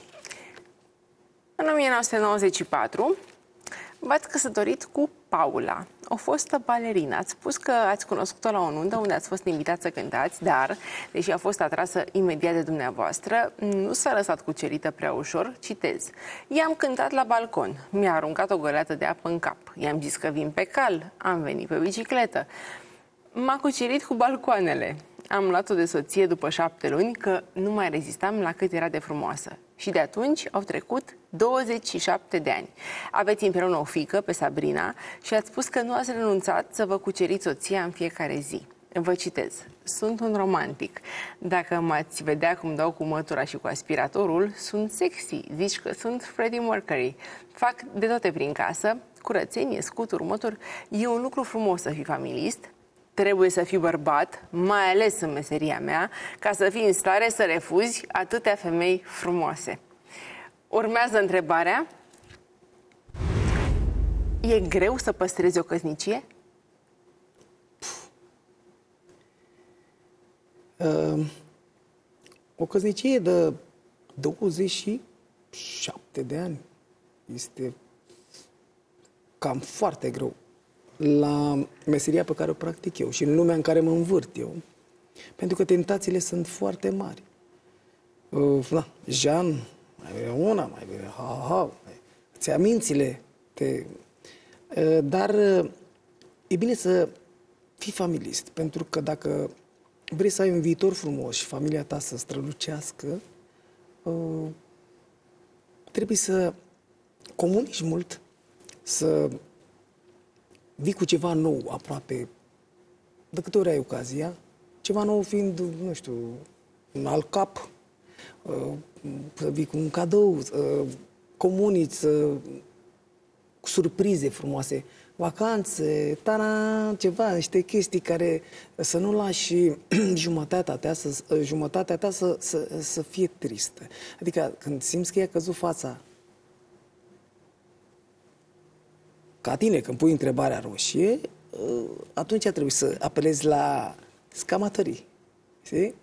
Când pui câte o întrebare frumoasă, vă zic, uite, e, așa, da, cam așa stă treaba. Este un drum lung și când ți-e scris că asta e sau asta e, apoi astea sunt. Dacă nu ți-e scris și, și tu hăiți și ea cea, nu iese treaba. Curați, și cu Dumnezeu înainte. Ca e o vârstă, de toții, că, hei, hai, nu ca mine, că eu am mult. Bine. Continuăm. În 2012, paparații v-au surprins la un hotel în capitală cu o tânără cunoscută în tabloide ca Beyoncé de România. Dumneavoastră ați negat o presupusă aventură. În 2014 ați fost din nou în centrul unui scandal amoros. O tânără care practicase prostituția în Germania a susținut că era însărcinată cu dumneavoastră și că aveați o relație de 5 luni. Ați reacționat. Vă citez. S-a ajuns foarte departe. Familia este comoara mea. Am fost și sunt rebel, gagicar, dar familia e familie. Știe foarte bine că nu e însărcinată cu mine. Presa a scris atunci că ați fost la un pas de divorț, iar regele romilor, Dorin Cioabă, va fi chemat la stabor ca să fiți mustrat pentru că v-ați fi înșelat soția. La numai un an de la acest episod ați vorbit deschis despre cum vă raportați dumneavoastră la femei, vă citez. Ca bărbat, mai te uiți în stânga, mai te uiți în dreapta. Paritatea în România este de șapte femei la un bărbat. Și atunci, cum să nu te uiți? Păi ce, sunt chior? Urmează întrebarea. De câte ori ați cedat tentațiilor în amor? Da. Uh, mi-amintesc că a fost o fază cu, uh, cu recepția unui hotel. Eu acolo mi-am dat întâlnire cu niște oameni, că, repet, am spus și într-o emisiune, uh, să semnez un contract, să iau arvună pentru un eveniment. Băi, vin aici, ei aveau o masă, făceau o masă acolo și au mai venit fete de-astea să facă poză. Hai, tată, să facem poză. Și o simplă poză. N-am ieșit împreună în hotel, n-am urcat împreună în hotel și a făcut poză la intrare în hotel, ea singură, fără mine. E o istorie. Uh, dar, da, ai dreptate, tentațiile sunt foarte mari, trebuie să fii puțin puțin chior, trebuie să fii puțin. Uh, n-ai cum să vii nici cu minte, cu, foarte cu minte, pentru că dacă ești atât de cu minte, du- du-te pe Atos. Și stai aici, du-te pe muntele Atos, stai acolo, într-o chilie. Păi și care e echilibru? Uh, Echilibru este să fii tare și să te gândești la... Deci, uh, adică să faci orice până ajungi, să nu ajungi la un consex. Consens. știi? Uh, te gândești că ai familie, și n-ai voie să greșești.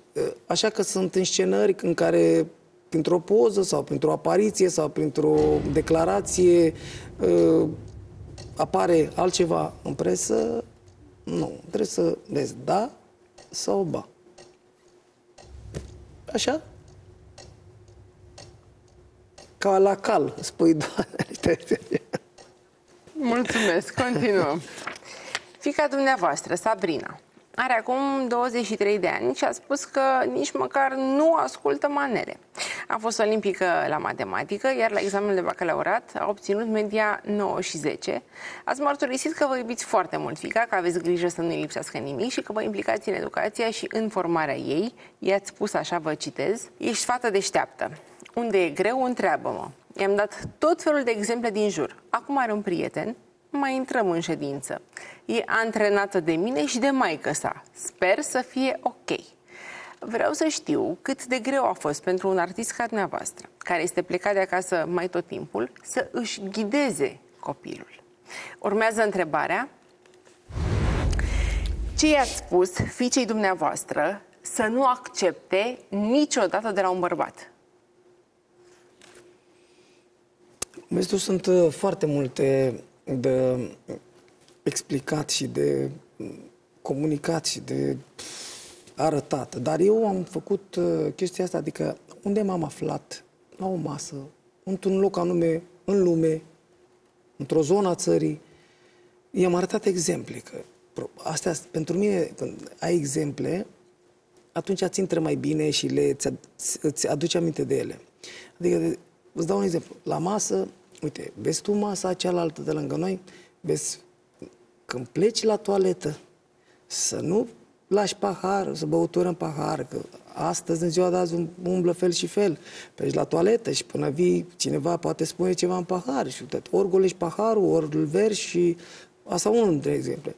Uite, să nu stai așa, pentru că dacă stai așa, uh, atragi atenția celorlalți și te vezi să fii totdeauna... Deci lucruri de-astea care uh, sunt esențiale oriunde mergi și poziția cum stai și... Să, uh, i-am spus, ești fată de tată deștept. Tu trebuie să fii deșteaptă. Da. Și văd că folosește. Bine, ea, ai dreptate, nu ascultă manele, nu are treabă. E alt gen muzical, ca și cum aș asculta eu acum uh, Skrillex, ceva, știi? Uh, a terminat, a terminat o facultate foarte bună la finanțe bănci, are prieteni, prietenii ei la fel, sunt, să cunosc de mici. Uh, Părinții lui, că trebuia să cunosc și părinții, sunt extraordinari, sunt niște oameni fantastici, de buni. Tata lui a copilărit cu mine la Titu, deci nimic nu e întâmplător, e ceva. Sunt niște copii buni și îmi pare bine că dintr-un băiat bun, ca mine, a ieșit uh, ce trebuie. Bine. Eu v-am întrebat ce i-a spus fiicei să nu accepte niciodată de la un bărbat, dar văd că m-ați, mi-ați evitat răspunsul, așa că mergem mai departe. Aveți 51 de ani, dar nu-i arătați. Nu aveți burtă, dar vă... nu aveți mărituri multe pe față, nu vedem păr alb. Bun. Deși presa susține că ați fi un client al clinicilor uh, de estetică, dumneavoastră ați infirmat aceste zvonuri, vă citez. Am o cremă de față ca tot omul și mă dau cu ea, mă aranjez, mă bărbieresc, injecții cu hialuronic sau botox, poate o să-mi fac, nu spun nu, dar nu acum, sunt bine. Ați recunoscut în schimb că vă epilați inghinal. Vă citesc din nou. Fata de la salon m-a întrebat dacă vreau să fiu epilat inghinal, iar eu am întrebat-o ce e aia, pentru că nu știam. A pus ea acolo și când a tras, mi s-a ridicat părul pe cap de durere. Atunci am înțeles ce suportă femeile. Urmează întrebarea. Cât de tare vă doare epilatul inghinal? Nu mai mi-aduce aminte. Păi nu, tu crezi că tot? Odată, pac. era să fac pe mine, i zis, nu mai vreau în viața mea. Am zis că e la modă, dar pe timpul meu e... nu avei. Alea zicea că ești bolnav, ai ceva, știi? Lasă-mă așa, că știu eu, e frumos. Ce, pe vechi. Așa cu ghinanul pe așa să suportați voi femeile, doamne, doamne, păi nu e bine, e corect. Nu știu, nu e bine. Mai, mai, mai Pilatul, nu. La o emisiune n-aveam big repede, trebuia să mă transform într-un personaj feminin și aveam păr pe picioare, se vedea prin dres. Și l-am chemat pe Pepe, vină mă repede. Păi cu ce? Când păi, n-am cu ce. Și a luat un scoci de la lat și m-a pe picioare și erau numai vărgi, numai dungi. Și fost sub dresul ăla vedea mai rău, mai bine lăsam păr. Și am ieșit pe scenă să prestez personajul respectiv. Oh, și monstru tot craci ce eram fost. Uh, este foarte greu și acum înțeleg ce îndurați voi. Iar cu legătură cu salonele, cu acid și cu... N-am fost... Mi-e frică de o injecție, da. Poate o, o să-mi fac. Cam vârsta care o am și nu arăt, probabil că trebuie să faceți și voi ca mine, nu puneți la suflet nimic. Puneți-le la spate și e ok. Mulțumesc. Ați spus că ați avea 100 de kilograme dacă ați mâncat tot ce vă doriți. Vă citesc. Fac foamea ca manichinele. Ziua nu prea mănânc. Trag de timp să vină noaptea ca să dorm. Că altfel eram cât o dubă. Hai, nu cât o dubă, cât o remorcă. Și soția înțeleg că are grijă de silueta dumneavoastră și păstrează în frigider doar mâncare sănătoasă, pentru că vă cunoaște foarte bine obiceiurile, vă citez. Atunci când ajung dimineața de la concerte, flămând și deschid frigiderul, aș mânca orice de foame. Dar ea are grijă ce să-mi pun acolo de mâncare. Când deschizi frigiderul, trebuie să vină peste tine două, trei frunze, două, trei legume, ceva bio și atât. La un moment dat ați decis să deveniți vegetarian, dar ați spus că ați renunțat la acest regim pentru că nu mai aveți putere să cântați. Urmează întrebarea.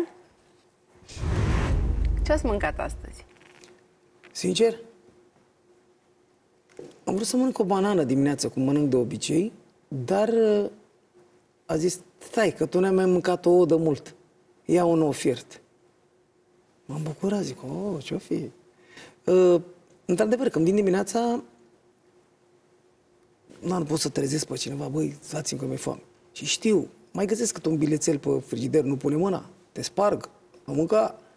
Și stau, când deschid, mă, nu mai, nu, bine că nu vine apa pe mine, știi? Dar bă, niște frunze, niște roșii, niște... Zic, să iau roșii aia, mă gândesc că tot, tot timpul îmi povestește. Dacă mănânci aia, toată noaptea stă în burta ta, până... Deci, mănânci carne noaptea. Ce faci? Mă, dacă mănânci carne, a, tot, atâtea zile. A, și mi-a poftă. Dar bunătățile sunt... Acum m-am prins eu. Sunt în bucătărie, mai e o bucătărie afară. Acolo sunt, dar știe că până mai mă duc eu afară. Nu mai Și mai caut într-un sertăraș unde știu că ține covrigei, biscuiți și caut că covrigei merge cu, cu lapte bătut sau cu iaurt și mi le ascuns, nu mai e. Iau așa, bea un par de apă, și, mă, și dorm. Dacă îmi găsim niște stixuri mis mai ronței, mai mult, bă, mai somn, dar... Dar cam ce mâncați așa într-o zi? Uh, eu mănânc o banană dimineața, fiecare dimineață.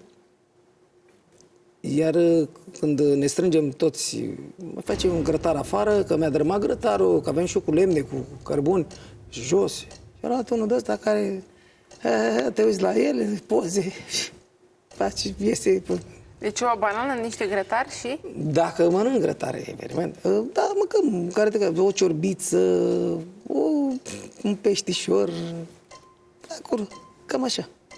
Cam asta e tot. Că altfel m-aș umfla. Mergem mai departe.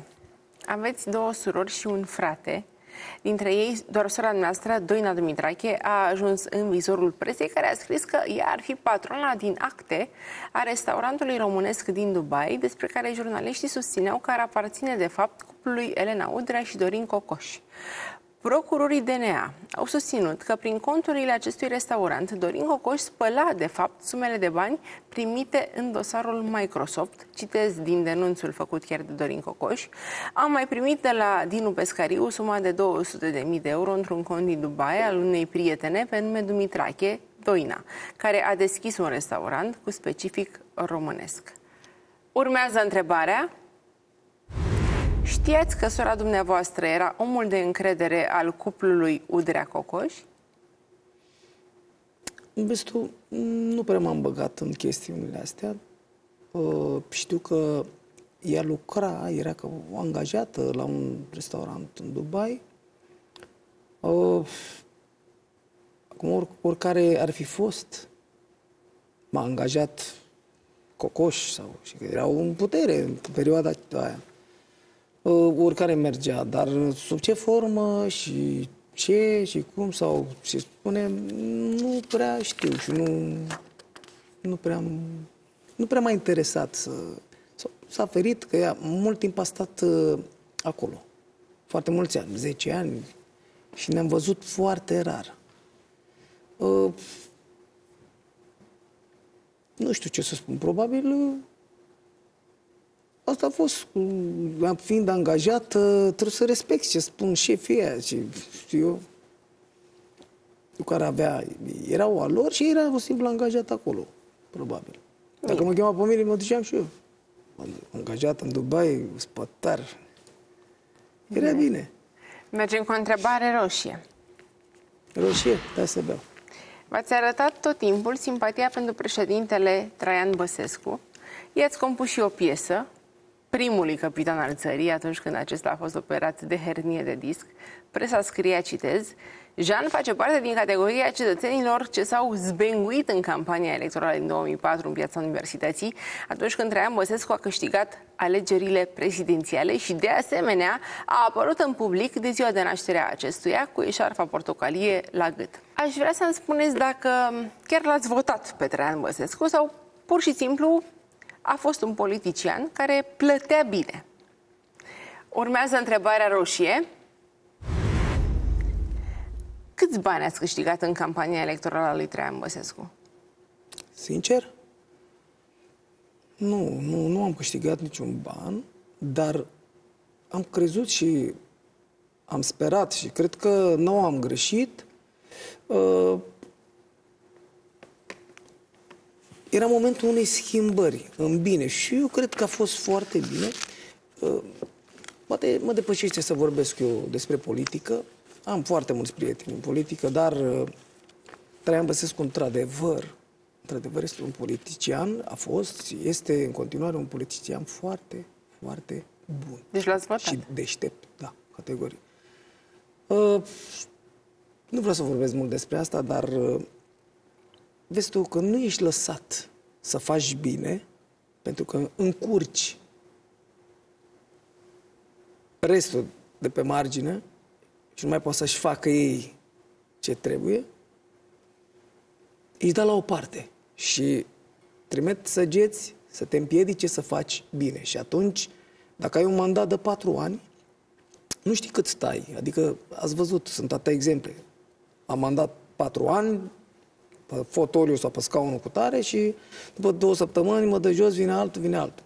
Și atunci care ajunge, nu are cum să apuce din prima, ai că eu am venit și vreau să fac bine țării, să meargă țara bine, oamenii să aibă de toate, să nu mai să plângă și nu mai. Bine, mă pune la borcanul cu miere, bag, eu, vezi, mă dă jos, vine altul și altul.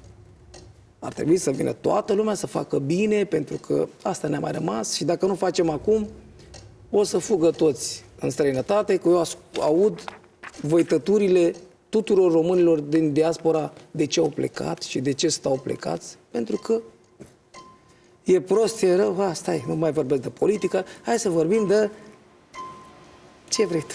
De fotbal vorbim. De fotbal, da. Bine, da. continuăm. Sunteți pasionat de fotbal. În 87 ați jucat la echipa mecanică fină din Divizia B.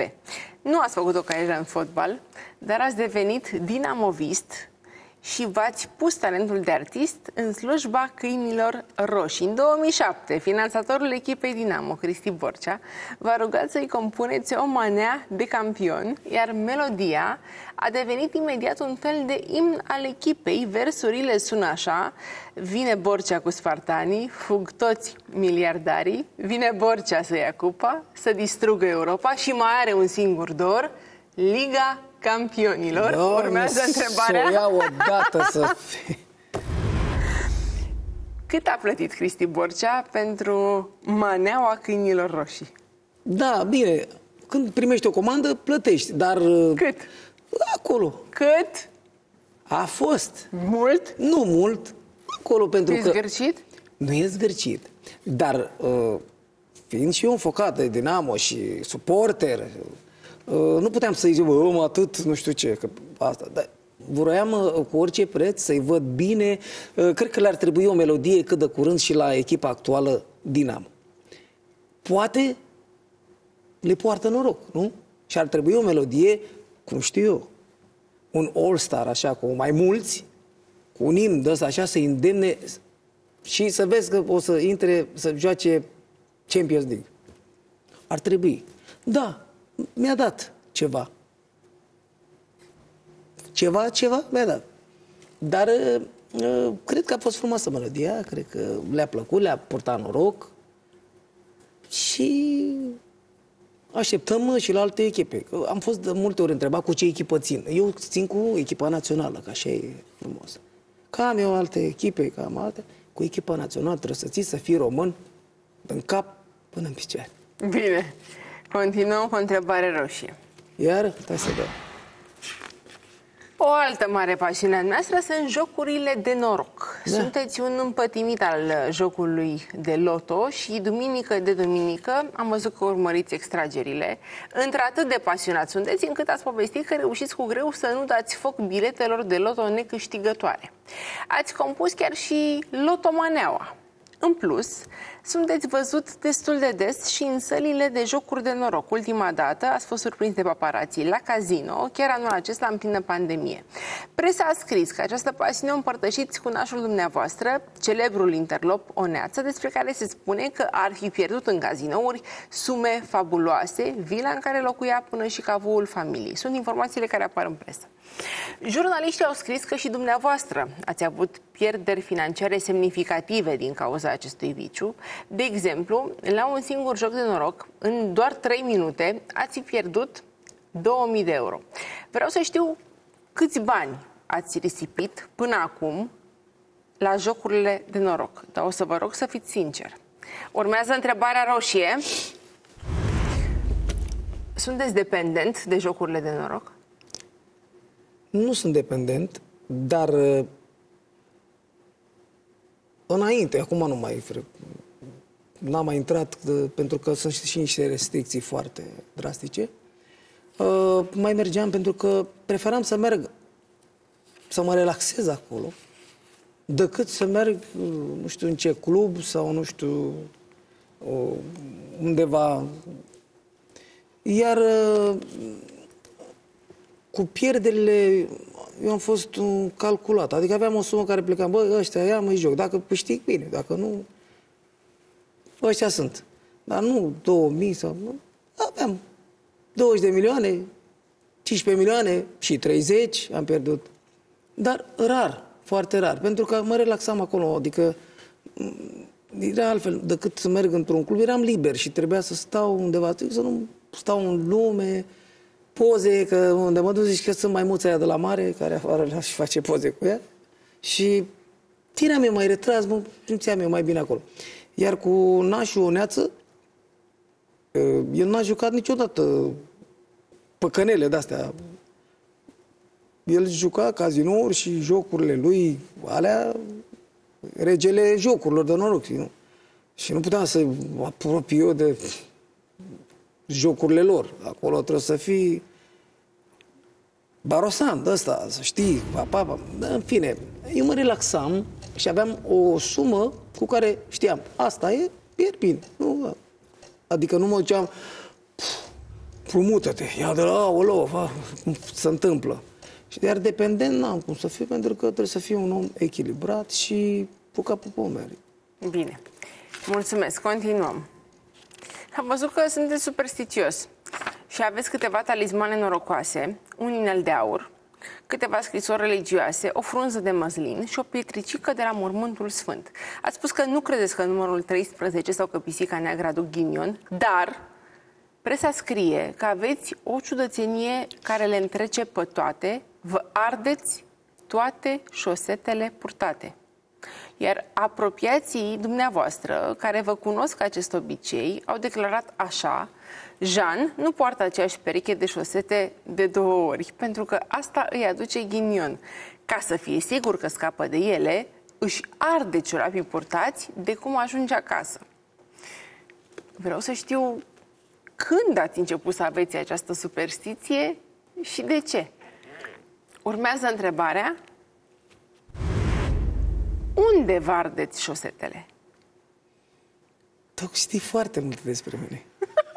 Uh, da, mă așteptam, pentru că era să zic că știu o adevărată vrăjitoare. Nu, ești foarte diplomată și foarte înștiințată și foarte... Așa, uh, cu ciorapi, da. Înainte ardeam Așa aveam, dar nu în fiecare zi. Așa ardeam... La... Dar cum adică? Nu îmi plăcea mie să știu că îi las acolo și alții sau îi poartă alții. Nu, aveam eu așa... Piciorul meu, bași piciorul tău, de asta. Nu-mi plăcea, știi? Și știam că nu mai există. Da, vrei ceva, îți cumpăr eu, iați. Uh, dar, într-adevăr, da, nu vor de două ori pe că ceva, nu, nu-mi place. Nu știu, așa m-am obișnuit. Adică astăzi și mâine îi iau, adică astăzi și după ce spală mai iau o dată. Dar pe nu mai, nu-mi place. Probabil că uh, ciorapii din ziua de azi sunt făcuți de o unică folosință, cum e vorba aia, îi speri odată și să albezi la călcâi. Și, păi eu, câte eu, sute de perechi de eu ciorapi port aveți? ciorapi negri, da? Da. Și să albezi la călcâi. Și eu nu-mi plac când să albesc așa, nu, nu-mi place. Bine, și de ce ardeți? Stați un pic. E amars. A, unde ierdeți? Așa ierteam la Cum? curte, pe o găleată. Sau, mm, aveam eu câteva. Dar uh, acum nu. Acum, e bine, bă, pară, mă, în fine. Nu-mi plăcea să bage cineva piciorul unde am fost piciorul meu. Am înțeles. De asta. La focul ei. La foc. Mergem mai departe. În sobă trebuia și Am văzut că nu ați refuzat niciodată solicitările de a cânta la înmormântări. Și ați spus de fiecare dată că nu e deloc ușor, pentru că trebuie să compui versuri la fața locului în funcție de ceea ce aflați despre persoana decedată. În plus, unul dintre colegii noastre de breazlă v-a dat de gol și a povestit că vă este frică de morți. Chiar și prietenul dumneavoastră, Bursucu, a povestit la Teo Show că vă temeți atunci când trebuie să cântați la înmormântări. Urmează întrebarea, de ce vă este frică de morți? Ție nu ți-e frică de morți? Nu. Nu? Adică să intri așa să vezi pe unul, a, nu? Mm. Nu că mi-e teamă de... Dar uh, sunt cazuri și cazuri, adică să-l vezi așa pregătit pentru să o șchezi, fugă, hai, dar să-l vezi așa cum a căzut sau cum a murit sau cum s-a... Nu știu, am așa o, o chestie. Uh, da, ce ți-a spus Bursucu, da, chiar cu el am întâmpinat o pățanie de asta. Adică trebuia să cântăm la... Adică după cu mașina repede, trebuie să cânt și eu că a murit nu știu cine. Și chestia a făcut că erau doi morți. Unul pe strada asta, unul pe strada asta. Și eu am nimerit la ăla unde nu se cântă, de oameni priveghi doar. Bună ziua, eu am scos chitara ăla cu acordeonul și a venit o femeie bătrână. Nu vă e rușine, cântați aici la mort. Păi nu ne-a schemat, doamnă. Pe strada cealaltă e mortul vostru. Haide bă că am curcat mortul. Și pe strada cealaltă, știi? Și am zis acolo și acolo. Nu mai veneați, domnule, păi m-am dus la mortori, am cântat și lui, că așa să facem. Am cântat și lui, acum îi cântăm ăsta la altul. Și hai bă, și cântam acolo. Dar, e, într-adevăr, este foarte greu pentru că trebuie să afli înainte cum a murit, de ce a murit, cine l-a omorât sau cine, ce s-a întâmplat, ce afecțiune avea. Și trebuie să legi câteva cuvinte, să, să faci un rezumat, așa. Prima oară când vin, întrebi, mama, ce a avut? Maică cu tare. Da, pa, pa, pa, pa, și ai trecut. Ai ieșit, l-a călcat, l-a omorât, l-a... Gata. Mulțumesc, Altfel continuăm. Mergem mai departe. În 2014, presa a scris despre un mini-recital pe care l-ați susținut la Seattle, în Statele Unite, la mormântul celebrului actor și luptător de arte marțiale, Bruce Lee. Ați compus special o piesă pentru idolul dumneavoastră, citesc câteva versuri. E Bruce Lee, nemuritorul, și îl cunoștea tot poporul, nu e vorbă, nu e vis, se bătea ca Chuck Norris. Momentul a devenit viral pe internet, așa că ulterior ați anunțat că vreți să mergeți și în Los Angeles pentru un omagiu similar la mormântul lui Michael Jackson. Între timp, un alt cântăreț de manele, Mihăiță Piticu, v-a luat-o înainte și a cântat deja la mormântul lui Michael Jackson. Aș vrea să știu de câte ori vi s-a întâmplat ca ideile dumneavoastră să fie puse în practică de altcineva. Urmează întrebarea, se fură maneliști între ei? Da, este o întrebare bună. Uh, nu că se fură între ei. Îi copiază pf, uh, o linie melodică care influențează pe cealaltă, care seamănă cu refrenul ăla, uh, mai ciordește după, după Bulgaria, după în Albania, și aici le face, mai le jlefuiește, mai le aranjează și este gata, am scos o melodie nouă. Dar nu asta e important, important e să o cânte mai bine ca ăla care a scos-o. Că atunci da. Dacă tu o cânti unul la unul sau mai prost ca ăla, atunci nu e bine. Nu e bine. Că ridici și pe ăla, intri în conflictul ăla, ăla, acum e momentul și știi cum să procedează. Dar bine ar fi să-i ducă pe ei capul, să facă ei, că e foarte simplu să te pui la un pian, ta ta ta ta ta ta ta ta ta ta ta ta ta ta și în asta faci ta ta ta ta ta ta ta ta ta ta pe manea sau ce vrei, sârbă, tăgărea, tăgărea, orice, te joci. Și lucru simplu este foarte greu de făcut. Nu că să fură între ei, Chestia e că copie, a început să copie mersul, îmbrăcatul, vorba, ă, multe, sunt foarte multe. De-aia am spus, stilul tău, fă tu ca să fii în cărți, să fii cineva, să reziști ca mine 30 de ani, e greu. E foarte greu. Am cântat cu cei mai mari lăutare ai României, de la Florica Roșioru, Toni Ordache, până la Hanțu, mult ce spun eu. Dar, e bine, s-au născut cu televizor color, acum tot înainte, au viitorul înainte. Bine, mergem mai departe. V-ați făcut debutul ca actor în 2008 când ați avut o apariție specială în filmul Poveste de cartier. În 2010 ați primit primul rol în serialul Moștenirea. În 2014 ați apărut într-unul dintre episoadele serialului Fetele lui Domn Profesor, filmat de Canal D, iar anul acesta ați spus că ați fost invitat să jucați într-un film indian. Vă citez. Voi pleca la Bollywood unde voi filma o secvență într-un film indian. Filmul se numește Dragoste în Europa. Acum, vreau să înțeleg cât de mult vă doriți o carieră de actor în filmele indiene și dacă v-ați gândit să apelați acolo la ajutorul Iuliei Vântur, care s-a lansat deja la Bollywood, alături de celebrul actor Salman Khan. Urmează întrebarea. Ce dedicație i-ați face lui Salman Khan? Da, într-adevăr, Uh, trebuia să plec pe 1 august, dar nu știu ce, tot problema cu pandemia, cu chestiile astea. Uh, și s-a amânat pentru 15 ianuarie. Eu când aud de 15 ianuarie, parcă mi se pare vine vacanța de iarnă sau de primăvară, știi? Uh, și voi merge la Bollywood pentru 10 zile, apoi încă 10 zile, mi se pare că la Paris sau nu știu unde, unde se filmează un secvența e împărțită în două, am 34 de dansatori care... Da. Și chestia este că e cu familia Capur, nu cu Can. Capur, Raș Capur. E, ce-o fi? Numai să fie. Am promisiunea, am uh, vorbit deja de ce este totul aranjat. Uh, am spus și numele filmului care poate nu trebuia, dar e bun. Dragoste în Europa. Este, ce știu este uh, fata indiancă și băiatul este european, de-aia spun dragoste în Europa. Adică e francez, cumva. Și probabil m-a văzut, uh, dacă sunt cu mai mulți prieteni pe YouTube, a văzut uh, un clip după canalul meu de YouTube cu melodia fetelor, a plăcut lor acolo și manelele mele sunt uh, spre genul ăla, sunt mai, mai nu știu cum.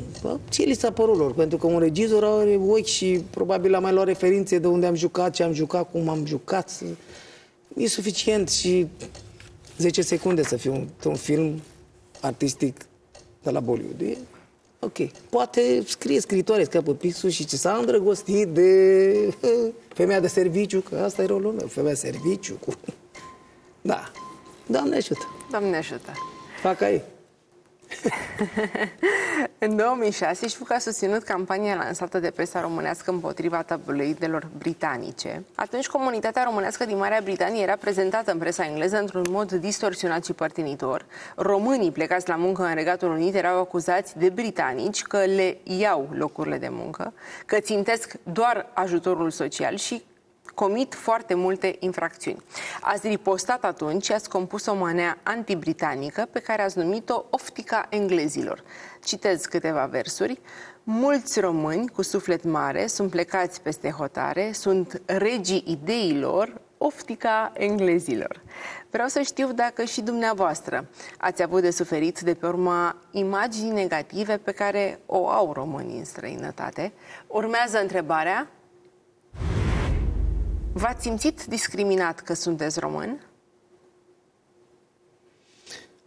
Nu m-am simțit pentru că chiar dacă au fost mici influențe sau înțepături, cum să înțelegem mai bine, n-am luat în seamă.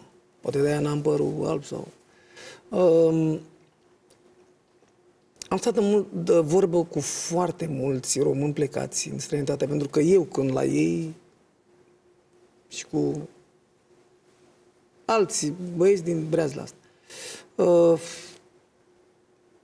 am stat de vorbă foarte mult cu ei. Sunt niște oameni necăjiți, oameni care n-au plecat de bine de aici, știm foarte bine, și își fac petrecerile acolo. Să simt mai bine acolo. Sunt plecați de foarte mulți ani. Copiii își, face un, își, își fac un rost acolo, apoi trage copilul, trage pe mama, pe toți și își fac acolo cuibul lor și trăiesc fără uh, griji, fără nevoi, fără cum se întâmplă în ziua de azi. Probabil le este mai bine așa, cu ajutoare sociale, cu pensii, cu... au un viitor.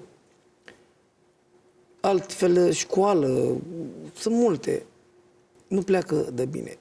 Eu nu am, m-am simțit discriminat, din contră, îmi este drag să stau de vorbă cu ei să-i strâng așa lângă mine, să-mi povestească cum e aici, de ce au plecat, ce mai au în țară, de unde sunt fiecare. Și fiecare îmi spun, pentru că vin din România, na, Jean de la Craiova vine și îmi spune și, drag, eu aflu și, și atunci le și cânt. Atunci când, după ce aflu pe scenă și le cânt și cu drag, acolo, 3 lei, 5 lei, mă simt bucuros că am, am putut să-i, să-i fac, să, să-i bucur, să, să simtă bine. Mulțumesc. Mergem cu o întrebare rușie. Stai să beau. Pe fiul dumneavoastră, Alexandru Dumitrache, ați încercat la un moment dat să-l faceți să vă urmeze muzică, dar fără succes. Când a încercat Alexandru să lovi de partea mai puțin plăcută a meserii de cântăreț, a spus așa, aveam impresia că este ușor ce face tata, dar m-am înșelat. Am cântat câteva melodii, dar când băieții au luat-o pe ulei și au început cu dedicații și scandal, erau de nesuportat.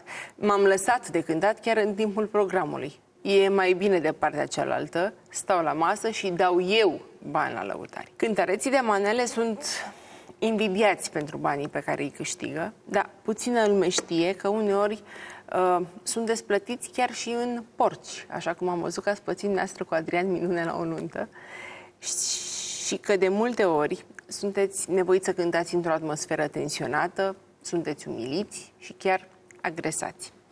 Urmează întrebarea roșie.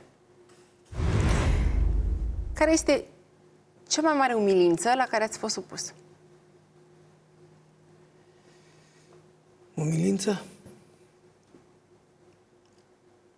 O, tot așa, când eram mic, am, am luat la portare 5 și am stat pe coși de nuci în genunchi, probabil. Nu, pe scenă. Pe scenă, în meseria pe care o practic, nu cred că am fost umilit niciodată, pentru că, vezi tu, nu, n-am dat ocazia. Eu, uh, n-am atras chestiile astea cu, uh, adică tot timpul eu sunt un timp care cu energie multă, energie pozitivă și zâmbitor, carismatic. Ca dacă ești posac așa și atragi chestiile astea, știi că e o vorbă, fața ta cere, cere gâlceavă, cere, le atragi. Nu am fost umilit, uh, probabil uh, mai întârzi se întâmplă la o petrecere și stă alaiul cu mireasa, nu pleacă la biserică fără lăutare. Și era, băi, la ce oră ai târziat, mă, mai, mâine nu mai îți dau banii de dimineață, că mai târziat, te-am stat toți după tine. Chestii de-astea mm, minore să mai întâmplă. În rest, nu cred că au fost umilințe. Nu dai ocazia și ești punctual și corect, nu s-a întâmplat nimic. Bine, mergem mai departe, tot cu o întrebare roșie.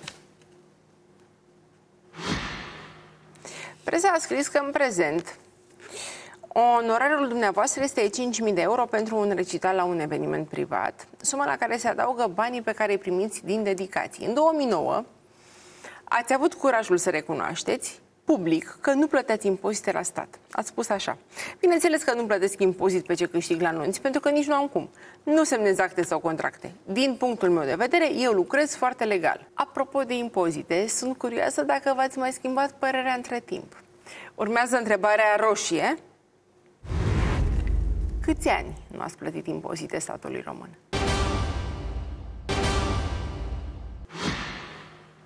Presa a scris că în prezent Onorarul dumneavoastră este 5.000 de euro pentru un recital la un eveniment privat, suma la care se adaugă banii pe care îi primiți din dedicații. În 2009 ați avut curajul să recunoașteți public că nu plăteți impozite la stat. Ați spus așa.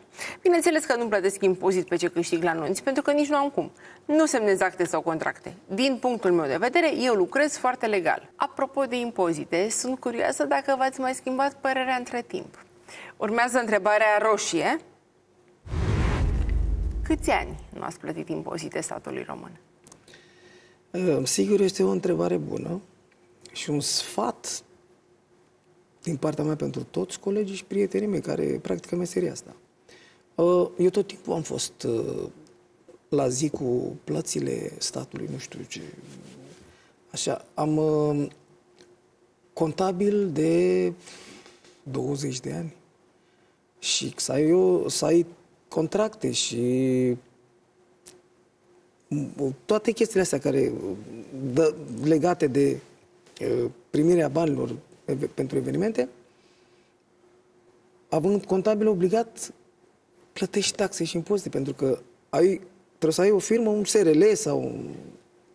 Aveam nu știu ce aveam, înainte aveam alt, o societate, nu știu ce. Dar tot timpul plăteam uh, taxe și impozite de la stat. Și acum acte și acte. Am contabile de atâția ani care mereu îmi trimite, plă, de plată PIM, vine pe mail și trebuie să mă să plătesc uh, taxe, impozite la stat. Și mă duc acolo, că mă duc, mă cunoaște fetele alea că un calbrează. Deci treci, plătim. Așa, eu cred că așa este normal și așa este bine. Și așa ar trebui să facă mai toți. Bine, din sumele care uh, mă angajez, nu iau eu singur. Am o adevărată armată în spate. Nu contează asta, contează că și prețul e cam mare, 5.000, eu 3.500 o oră jumate cu tot staful, sunet, formație, e mult. Iar dedicațiile lumea nu mai prea dă decât 3 lei, 5 lei, decât scos mașina și asta, drumul e bine. Dar în rest, frate, cânti, ești bun, cânti, nu ești bun, Am Stai acasă, înțeles. în studio. Bine, continuăm. Succesul uriaș pe care îl aveți astăzi se datorează nu doar talentului muzical. O Românie întreagă v-a remarcat și ca dansator în 2009, când ați participat la emisiunea Dansez pentru tine. Ați câștigat atunci nu doar competiția, ci și o doză uriașă de simpatie din partea publicului, dar nu v-a fost ușor. Bursucu, cel care a fost coregraf, a dezvăluit, citez, pe Jean de la Craiova l-am bătut la propriu. Îi dădeam palme peste mâini să stea într-o anumită poziție, de ajunsese vânăt pe brațe și îl băteam cu bățul peste picioare pentru că altfel nu se putea.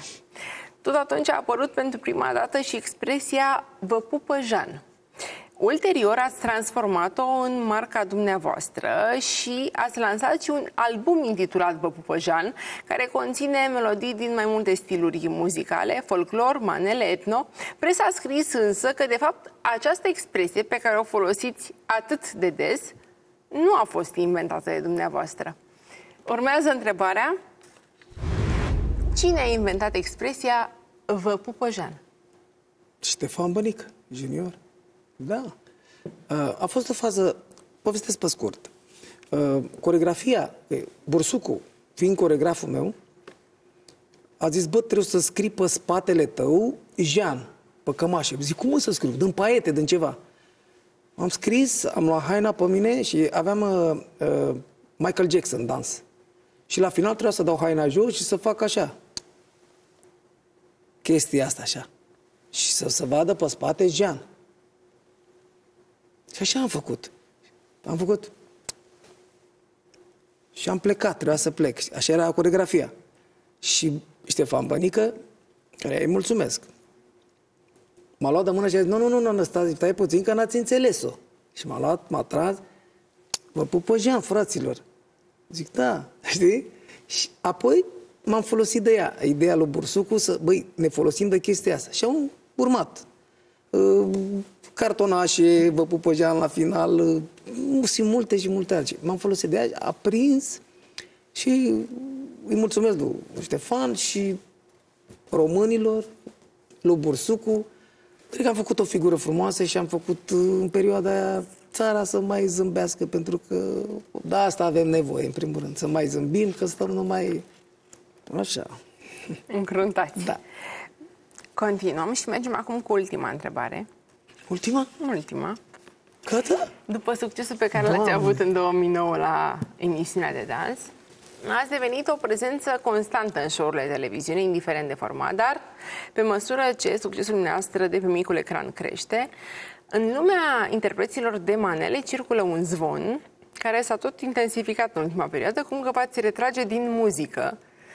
Dumneavoastră ați încercat să puneți capăt speculațiilor, vă citez, ca să te retragi în glorie la o anumită vârstă mai merge, dar să renunți la muzică nu, pentru că din asta trăiesc, asta m-a consacrat. Este o plăcere să cânt pentru că așa am fost creat. E un dar de la Dumnezeu de care nu pot să-mi bat joc.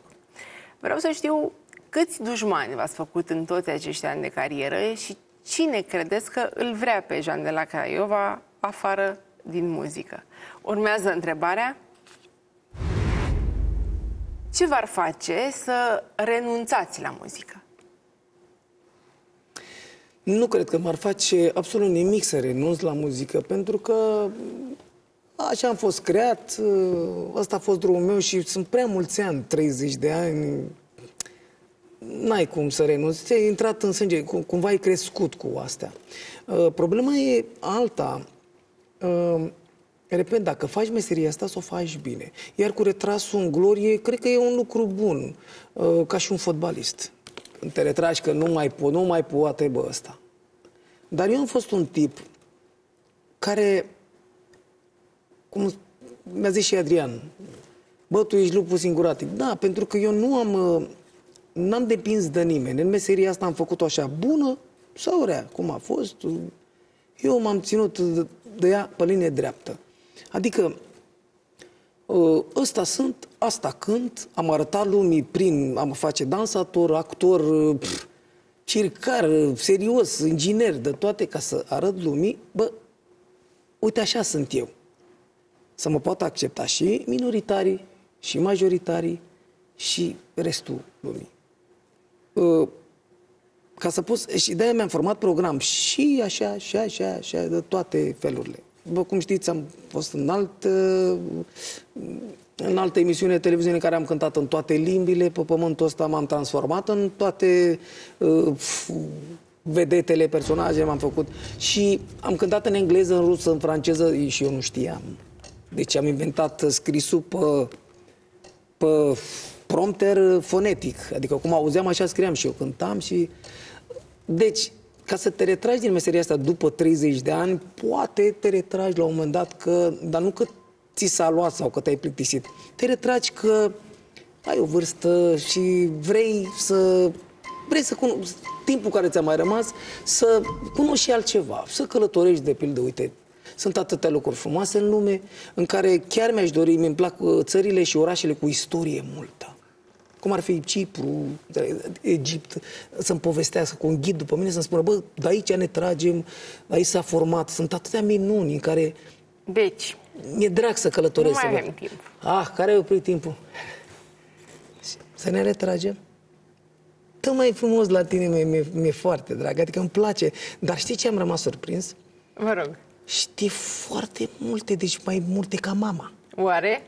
Deci eu sunt o mama, acum spun de unde... pentru care mi-ar mai trebui încă o emisiune. Da. Ca să aflu mai multe deci lucruri despre foarte... bărbatul Jean de la Craiova. Mi-am făcut așa o idee, o să-mi spun părerea la final. Cei care ne-au urmărit, telespectatorii noștri, văd acum pe micile ecrane un tabel. Ați răspuns tuturor celor 40 de întrebări ale mele și da? vă mulțumesc pentru asta. Au mai rămas 4 minute. Dacă sunt chestiuni pe care v-ar fi plăcut să le clarificați. Mm, chestiuni ce v-ar fi plăcut să vă întreb și eu pur și simplu nu am atins acel subiect, vă rog. Mă, multe n-aș avea de spus, pentru că ai spus exact uh, cam tot. Că intenționez să scriu cartea despre care vor, ai și vorbit la un moment dat. Am trecut așa. Uh, am înregistrat un titlu de carte, Viața unui lăutar. Cred că sună bine. Și am început să scriu. Am, am avut o scriitoare de la Chișinău foarte bună, dar a plecat la Stuttgart, în Germania, s-a măritat, nu mai... Începuse bine.